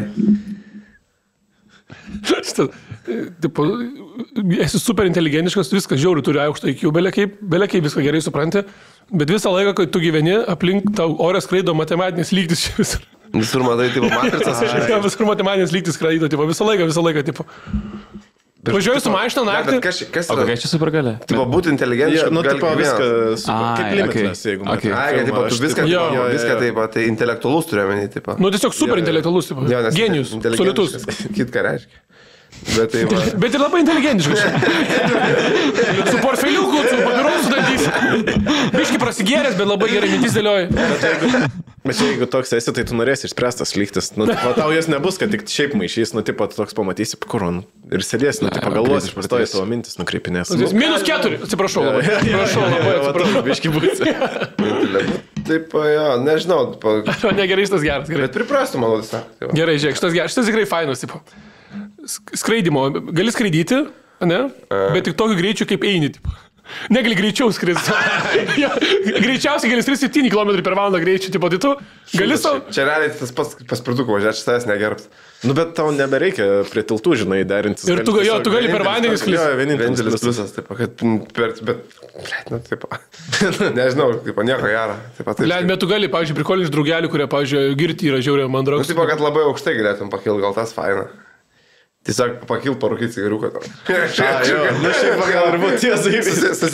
Susipykti. Let arba, arba jeigu liftas labai ilgai net važiuoja, toks pisau, na, laukai išeini. Langą, belį. Po to galėtum realiai valyti dangoraižių langus ir daug šaibų uždirbti. Šiaip ir dabar taip gali padaryti. Bet ten su tai šniūrais kabintis, tai Nu, toliau. ja, ja, daug, daug, daug. Nu, bet jo, nu, nežinau, tai aišku, vis laik skraidyti būtų zebys, bet, tipo, toksai, tipo, jau, manau, išsipisnėtume irgi, tai pasakytume, ką, nesąmonė, čia negali žinoti. Čia kaip dabar paspirtukams uždėjo ribatuvus, taip, Lebė būtų keista, kur eina. tiesiog į kalną važiuojant, 5 km per valandą. bet paspirtukai iš vis miręs reikalas, aš nebesuprantu, seniau būdavo, ble, laukiniai laikai, lakstai, kur nori, kaip nori, kur nori, palieki, ble, ten suportą reikėdavo, ten nufotkinti seniau, kaip tu į pastatėjai. Aš ten tiesiog, na, selfie, fuck, nusiūsdavau, ble, ten, ten suportas man žengia, numesdavau ir viskas, dabar, ble, netaip nufotkinti, rašo, tu kiek pastatė, ble, aš jau išvažiavau, na, nu, ne aš nuėjęs, nu, ten esu, tipo. Nu. Nesąmonė. Ir taip, ble, tai važiuoja, kad ten, sakau, aš vokiečių gatvė kažkai, nu, tipo, važiuoju su paspirtuku ir tiesiog Pradinukai, vaikai su kuprinėm eina užsidėję ir mane, už mane greičiau, tiesiog lenkia mane, tipo, žinai, kur tiesiog toks einu čia vaikai, blėt, pro mane, tipo, pisa. Sakau, paspirtukai yra šūdas. Tragedija, žinok, seniai nebeapsimoka tas važinėt. Ne, nesąmonė. Ir netgi vietose, kur nebėra ribotuvai, vis tiek ant 14 važiuoja, nes tiesiog sulaužyti, sugadinti yra, tipo. Tai žodžiu, nebesu patenkintas už Važinėjau paspirtukus. su savo, bet susipirkė ten, bet kur mega dideliais, pa- pakeltais ratais, tipo, kur šuo visų kaip visur jo pakelti ratai. Ble, arba jeigu būtum, pavyzdžiui, nematomas, galėtum būti nematomas, bet jeigu netyčia, kai tu esi nematomas, žmogus pažiūri tau į akis, nu, tipo, pagauna tokį lauką, tu pist tampi matomas iš karto. O gali grįžti nematomumą? Nusukia žvilgsnis tada. Jie jau turi nežiūrėti tave. Bet, bet čia būtų šiaip taip matematiškai, tai mažas šansas, kad pažiūrėtų taip patiesi tavo akis, nes tu pagalvoji, taip, čia dabar žiūri, tau gali būti bet kur taip akis. Taip, Nu, bet blemba, nu, vadovai, pagalvok dabar. Nedovi, matai, tu ją matai, kur žiūrėti. Nu, tai taip, Gerai, bet jeigu būtum nematomas, šiaip toks baideris dalykas, ypač šūliai vis laiką galvodavau, kad norėčiau būti žiūri nematomas. Mm. Tipo, ką darytum, jeigu, koks pirmas aktyvity, ką šiaip padarytum, jeigu būtum nematomas? uh, Pizdinčiau kažką. Jo, aš irgi visą laiką Žinai, aš mačiau galvoju. žiauriai gerą bairį šitą memą, tipo, kad po Hario Poterio, tipo, fotkerį parašyta, turi, tipo, nematomumą apsiaustą ir nevarai pas mergaitės į dušą, tipo. Nu, va, mano mintis gal buvo tokios, jog adičių kūno kultūros persirinkimo mergaičių kambarį ir toks tiesiog stovėčiau. Toks, Čia dabar suaugęs vyras. ką, ne, šūliai, šūliai. Tai taip ir pasakyk, bet ne. Tai šiaip, prieš tai sakiau, kad šūliai, bet tai dažnai. Aš manėjau blogai buvo interpretuoti. O to nežinau, ką dar daryčiau. E, Nematomumas, nematomumas. Bet aš Dar pagalvok, kaip realiai visiškai jaučiu, net ne, net nematau prasmės. Taip. Ne, nu, aš tikrai tiek- nenorėčiau taip girdėti, taip, kaip mane kalba žmonės, kai tipo, manęs Ne, to tai nenorėčiau, dėl, to- dėl to nenorėčiau niekada ir kitų minčių skaityti. Nes jau didžiausias Ne, ble, minčių tai man čia atrodo nesupra galėjo prakeiksmas. pradėjimas jo. Bet kažkur prasmuk, pažiūrėjai, prezidentūrą, kur nors pasnausėda. Išsidrėpti, paklausyti, ką pizdėlina, ką jis veikia visą dieną. Ne, čia aš tos bairius galėtum daryti iš tikrųjų. Tipo. Nu, tas... Nuvaryt, pavyzdžiui, Putinui, na, tiesiog su savo šlepą per snukį padaužyti. Kur jis sėdi toks ofise, kai man tiesiog kažką jaučia, na, tu nesuprantate. Kažkas subirka, pro lūpas praeina, jis sėdi su savo. Ir ir tik- Su neplautas lūpom, tai Putinui panasytė, na, valiuoja. Kas čia? Kas bet? Kur, aš čia vienas užuodžiu. To zahuinė, blė. Pirštų duosas. Nu. Arba, pavyzdžiui, ar, arba būt, Sakai, ne. Arba, arba kokias kažio varžybos žiauriai geras ir ten, tipo, nori, kad to komanda laimėtų, jau naini padnoškį pagiškį. Tai čia tasai būdavo filmas, šeštas žaidėjas, tipo, kur mirė brolis Kašioras, tipo, ir vaiduoklis padėdavo. Tipo, jau, vyras. Nematė? Ne. Bet vienas mėgstamiausių buvo matyti filmų, tipo, ir padėdavo. skamba kaip labai žemo biudžeto filmas. Toks ir yra, toks ir yra, tipo, kur tiesiog ant lankos sėdėdavo kaip vaiduoklis ir numušnėdavo. Ką? Ne, ne, ne. Taip. Ne, ne. Ja, ja, ir po to viena žurnalistė, tipo, pradėjo, tipo, peržiūrėti, tipo, vid- video ir matyti, kad kažkas, taip, tipo, ne taip, ten, tipo, kad kažkas nelogi. ir tai išsia- išsiaiškina, ten, tipo, štai. Aiškiai, jeigu šimtas. tipo, Blet, kartais amerikiečiai filmai, belia ką, nu, tipo, čia idėja, kur mes sugalvotume. Ne, ten, ten, ten, Žvengdami, amerikiečiai filmai, šiaip dauguma, tipo, tokių, aš vadinu juos šeštadieniais ar savaitiniais. Televiziniai, kurie jie yra ne kino teatriniai, o televiziniai. Jo, rodydavo, laiku, kai būdavom vaikai, aš nežinau, ar dabar tikriausiai rodo, bet aš kai vaikas būdavau, ten rodydavo, tai ryte filmukus ir tokius, tokius filmus. Kokie labiausiai yra įstrigę iš tų rytinių? Tai ten bežionėlė, su riedlentė, bežionėlė, tipo. O, bežionėlė, kur viską darydavo. Jo, jo, taip pat delfinas, taip pat tas Skiperis. skiperis. Buddies, Air Buddy. Bear Buddy. Eisas Ventūra buvo. Eisas Ventūra būdavo, bet, Bet bet jau ten čia jau geras buvo. būdavo. Bet, karočio, Bet, bet rodydavo irgi rytais kartais. šnipų vaikučiai. na. Šnipų vaikų. Reiks Žiauriausia. kada nors patkėsė papasakot mano šnipų vaikųčių istoriją. Bet beje, mes čia galvom, kad live kažkada, taip. Nu jo, čia reikia palikti, tai gerai. Nes, blėt, stongai pasakom, tai žiauriai prižvengia, atsimenu, tai Mm. visos istorijos. Labai gerai, šnipų vaikučių istorija. Tai da. Gerai, dar buvau iš vakar prieš miegą pagalvojęs. Iš dabartinių esamų superherojų. Tipo, nebūtinai, kad jis tapti, bet kaip manai, kuri, kurio superherojo kostiumas mums, kuris labiausiai tiktų, tipo? Kurio apreng galėtum, tipo? Lelas Kovas galėtų Spider-Manas būti tikrai tipo, tu, tu, smulkus tai man tai. Robinas, karačiai. Ką? Robinas. Aš Robinas. Aš robiu. Pašol, aš norėjau sakyti, kad Dovis Robinas galėtų. Ne, bet čia, ai, tipo, nu, bet čia ne dėl to, kad... tipo, Robinas, tai tu supergalinį turi, pašokas, tai blė, tiesiog Batmano Nu, tu šlepanas. jo lajus tada. Kas? Jo lajus. Kas čia toks? Čia, rū... čia rusiškas superherojus kažkas. Heraklio šlepa. Ne, aš Gerai. iš tikrųjų nežinau, aš nelabai tų superherojų daug žinau. Nu, žinau, aš nueinu kartais, man, man tie filmai, tipo, tipo, visi, tipo... Kas Benas galėtų būti? Benas man toks, kaip, ble, Aš tas, tipo, toks. taigi buvo tas iš Fantastic Four akmeninis, tipo. Jo! Ir jo, man rodos, net Benas vardas buvo. Tas jo, jo, toks, blėt. Ja, ja, man rodos, Benas net vardas ir buvo. Nu, gal maišau kažką. Kas tu norėtum būti? Aš? Kas tu zaibiškas? Iron Manas, na. Ne, tu tas... Man irgi, mano Iron Manas zaibiškiausias yra. Nu, Iron Manas, ne, turi. Kaip tu šak, belie kiek žiūri kosmų, gražuliukas, na. kietas, tipo, bet man tai tu būtum tas, tipo, iš Fantastic Four greitas žaibas, tipo. Tai tu atrodo vieną filmą matęs ir mėgini iš Bando pritempinėti. Nu, ir ką, ir gerai gaunas. jisai, jisai, jisai, jisai, jam tik turbūt greitas, jis greitai kalba, taip, jis taip greitas, taip yra. Ble, aš- jo greitai, super galė, taip yra, viską greit darai, viską nenori. Arba dar elastinis žmogus, žiūri ilgą kaklą galėčiau padaryti. Dar ilgesnį. Dar ilgesnį. dar galėčiau. Belie kur įlys pažiūrėjau. Taip, sako, Markai, taip, kamštis tavo Markai, kad taip, Ne, aš langą. pakyla viršų kaip dronas, na. Avarija, avarija. Galėčiau būti elastinis žmogus, na. Laskovai savo super galę, davai. Lemba. Aš dar galiu vieną paskaityti irgi. Gerai stand-upin, pavyzdžiui, ne? Gerai. Čia super galė, Norėčiau, bet Ne, ne. Jokauju, bet e, nežinau, šiaip e, dėl ko mes taip kalbam iš tikrųjų šitą visą dalyką, tai dėl to. Įdomu, super galė. Tu, kad žmogų. Ne, iš tikrųjų tai vyks Comic Con renginys, žinokit, kas nežino, Benas, pavyzdžiui, sakė, nelabai žinojo, aš tai vis laik labai gerai puikiai žinau. Aš žinau, aš žinau šitą formatą, bet aš tikrai nuo širdžiai nežinau, kad Lietuvoje vyksta. Eiktų, Liteks pavyksta, sakau, buvo prieš metais šį Breaking Bad tas atvaręs uh, Walterio sūnus. O šiemet- o šiemet? šiemet bus žiaurus, šiemet bus Tuko Salamanka. Įjungi davai. Parodyk, kaip jis atrodo. Dabar yra geriausia vieta jo, Tuko Salamanka, parašyk. Jo. Tuko pa... šitas. Jo, jo, jo. Į YouTube. Šitas atvarys. Jo, jo. Eik, aš varysiu. Šiandien, šiandien nepalašiau, šiandien, šiandien. Ne, bet žodžiu, papasakosiu, papasakosiu žodžiu. Ir jo buvo trys gal serijos ar keturios su juo. Ir yra po to Moros Better Call Saul, bet šitose serijose jis buvo nužoskai toks nesveikas personažas, tipo labai brutalus, labai psicho, psichopatiškas. Ir jisai pirmės paprašė pats režisierių, screenwriterių, kad jį, nužud, kad jį nužudytų, tipo, šitam serialė. Nes jam buvo, sakė, per sunku vaidinti tokį vaidmenį, jis blogai jausdavos tokį psichą vaidindamas, jo žmonai net nepatiko, kad jį tokį mato ekrane, tipo, ant tiek šūkį, tipo, pirmės vaidmuo įeina į tave, kad, tipo, jis sako, na, nužudykit mane, aš nebenoriu šito vaidmens daryti, tipo. ir jis po poros serijų tiesiog atsisakė, tipo. Geras. Jo, jo, tai nes tikrai labai, labai psichopatais ant vaidino tokį, tipo, nu, va, ten brutalų, to išlykštų, tipo. Tai jo, tipo, labai, labai įdomu dėl to ir šiaip, e, kaip rašė Komikon, ten visokiausių Hollywoodo žvaigždžių gali būti ir, ir yra cosplay, kostiumai, mūgės dalykai. Žiauriai, šiaip ganėtinai įdomus renginys. Va, čia maždaug viską ir parodo. Bet sakė, jeigu mes pirksim bilietus ir aktyviai dalyvausim šitam renginį, kuriame, man rodos, praeitais metais buvo 25 tūkstančių žmonių, ir dabar dar padidėjo erdvė visą renginį, bus dar daugiau žmonių, dar daugiau erdvės, dar daugiau įdomumų. Ir sakė, jeigu pirksim bilietus gerai, ir jeigu per porą metų dar šitas renginys auks, daug šansų, kad gali atvažiuoti ten tokie aktoriai kaip Robertas Downis Jr. tipo, arba panašiai, bet iš jau E-listerių tipo galima prisikviesti. Jeigu normaliai judės šitas renginys tipo ir kils tipo, tai jau esame netoli to lygio, kad jau atkreiptume dėmesį. Ir žiauriai, žiauriai, žiauriai faina, kad pas mus Lietuvoje daugėja vat, ir tokių entuziastų šitų dalykų.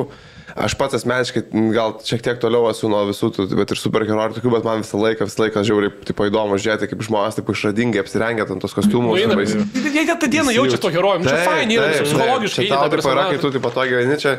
Čia kaip Helovynas, papildomas viena Čia per jaučiu metus. kažkas panašaus kaip mums, e, kažkokia, taip, žinai, pa, pa, pa, Simės kobė, Briantų kokį. Nu, tai pa- pamėtyti kažkokią su kažorai, žinai, tai va, ten būtų per apšilimą kokį, žinai, Ne, arba tiesiog kai vienas pats kiemė vietą ir tiesiog savo kartoja 3 sekundės. Visą laiką tai darydavo. kamuolį 3, 1.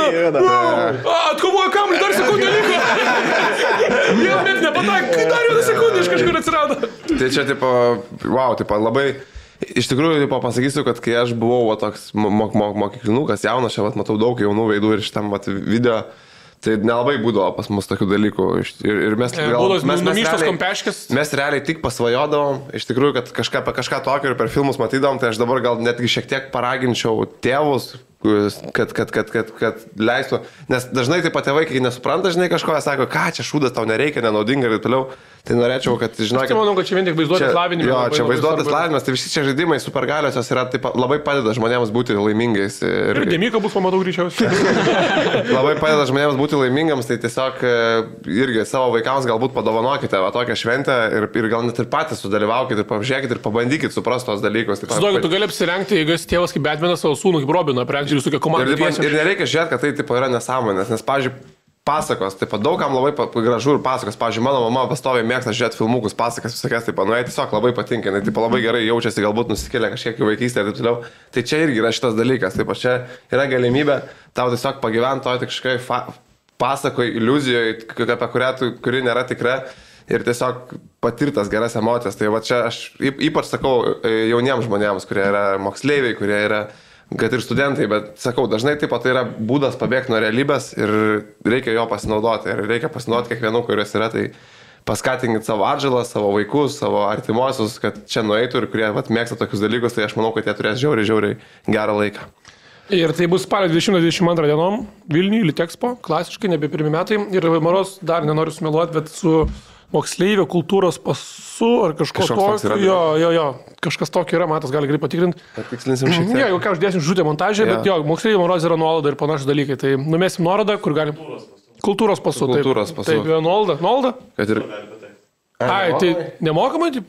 Bum. Ai, tai gal yra kažkoks kaip daug, va, daug kartinis ant tas, ne, Kultūros kultūros, pasas. kultūros pasas veikia, nu, tai žiūrėkit, tai...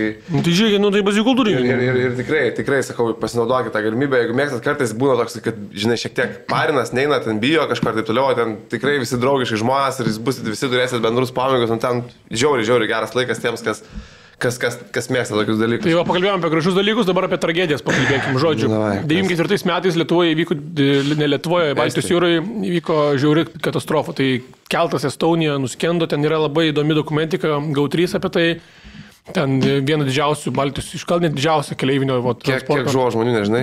E, Nemažai, 300 gal, tai palaukit. e, 300 spartiečių. žuvo. Tiltas, Estonija. Čia ta istorija, kur vienas lietus išgyveno. Jo. Jo, ir aš parodysiu lietuvių interviu. Va.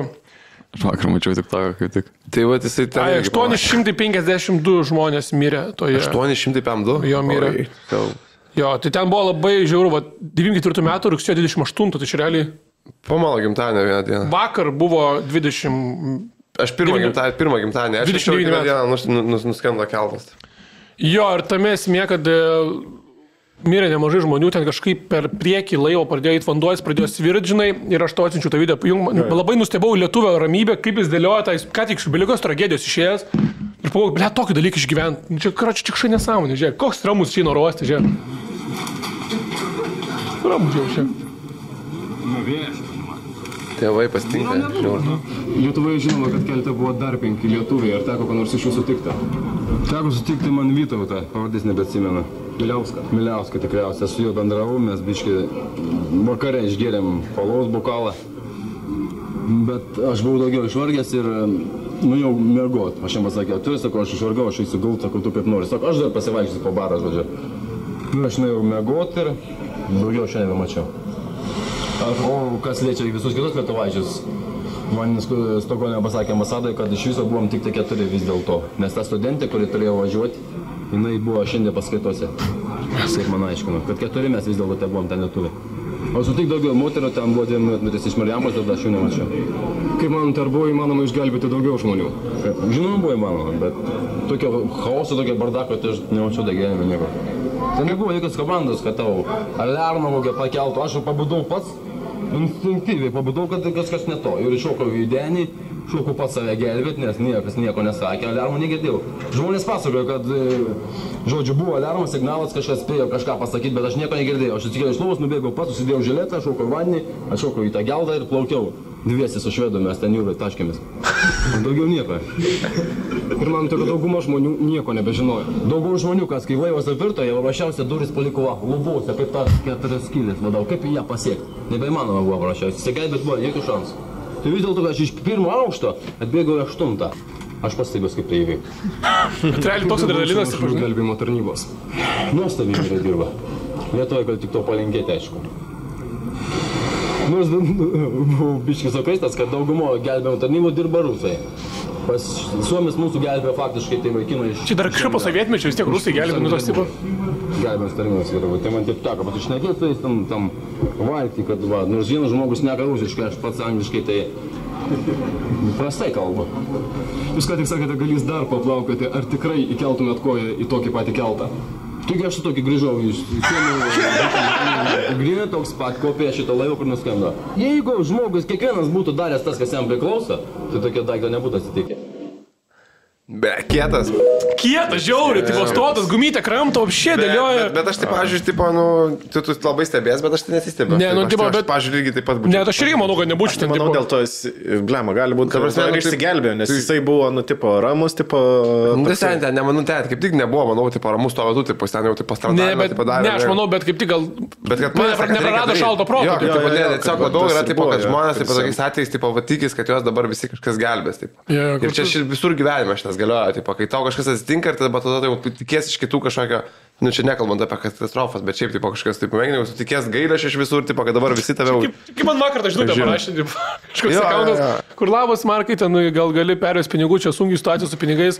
Ir galvoju, nu, jūs kito galvoju, gerai, sunkiai situacija pinigais, čia gali būti, žinai, blėt, neturiu už ką pavalgyti, ten, ten žiauri pizdatė, išmeti iš namų gatvį gyvenu, nu, tipo, nu, tokiais atvejais gal pasvarstyčiau, bet tada, nes čia dabar nuo darbo pradėjau algą, tik tais kitą mėnesį įkris, o mamos Jo. gimtadienis ar tie taip norės kažkur išvažiuoti, tipo, kažką.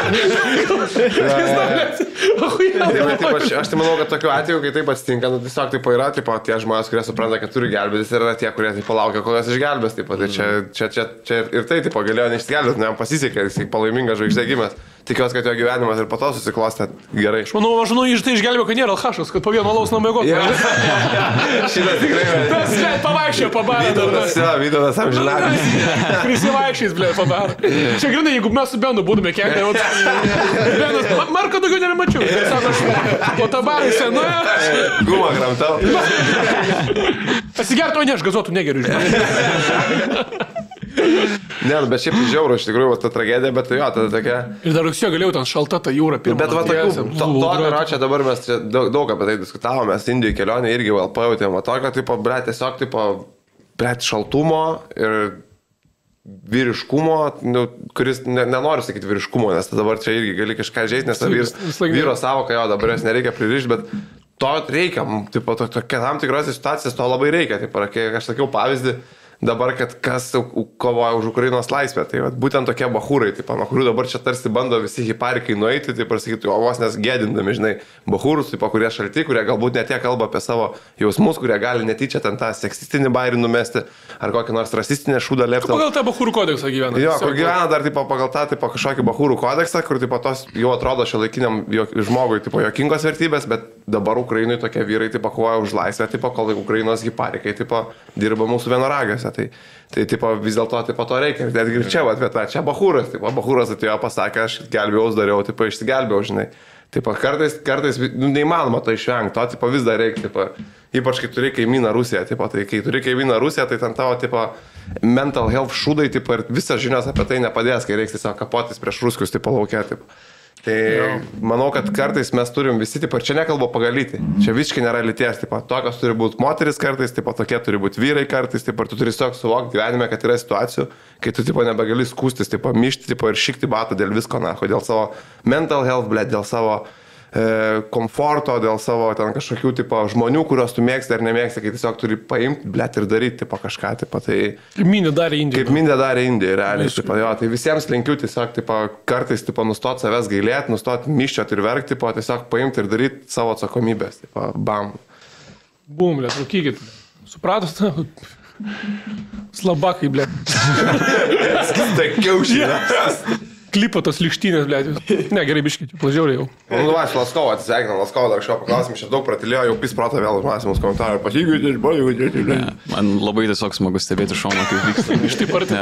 Nu, taip, aš, vis tiek matau per YouTube pažiūrėjęs ir dabar tiesiog Laskai, kad turėjai čia pas mus, tipo, kad ne, nepatingėjai čia ir iš darbo išėjai, tipo, šiaip ačiū labai tikrai nuoširdžiai, tipo, aš jau tau sakiau dalykus, tipo, bet... galiu- jaučiasi tau labai skoloj, sakė, kad šitą kelionę gausi, kad tau sunkis, tikėjausi, kad bus tau lengvesnė. Ne, nu, aš bet norėčiau, kad gražintų skolas, aš mano rūbus nupysiu, nors ką apsirengti. Tai jo, aš tau tikrai pažadu vieną dalyką, tai aš tave pirksiu rūbais, tai nueisim kažkur va su Marko, tai išrinksim tau rūbelį, nupirksim, tai kažkaip, tai, tai čia tai faktas, bet šiaip, tai noriu padėkoti už kelionę, tai Indijoje tikrai, tai vyriškai, tai Bret, vėl čia tas epis dėl tų vyriškų. Nu, Gerai, ne vyriškai, tipo žmogiškai, buvai labai žmogiškas, tvirtas, tipo kietas, tipo bičiukas, tipo, kuris žiauriai gerai viską padarė, tipo, ir džiaugiuosi labai, kad tipo, tave būtent pasirinkau ten varyti ir, ir, ir, ir gavos ta kelionė sunki, šudina, ne tokia, kokią norėtume, kad būtų, bet tipo, jeigu net tavęs dar ten nebūtų, tai iš vis tipo, būtų tikrai žopa. Tipo, tai atleisk, kad ką teko patirti tavo visus priekabiavimus, tiek iš indų, tiek iš lietuvių kelionės metu. E, bet, bet, bet e, paimsim su Marku mes tai kitą kelionę irgi, ne, kai darysim kažką, paimsim. Gerai, bet ir stabilizatorių reiks, žinai.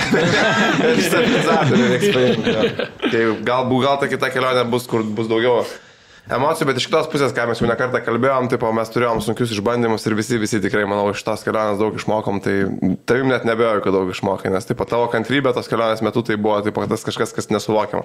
Jeigu kalbant apie supergalės, grįžtant prie supergalių, tai kantrybė yra viena geriausių supergalių, tipo, šio laikiniam, tipo, moderniam pasauliu, kur visi labai mėgsta visko skūstis, tai Laskovas parodė tiesiog geležinę kantrybę. Tai...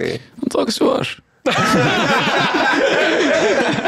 Instagramas lasmydė, norėsi susirasti, blė, norėsi susirasti.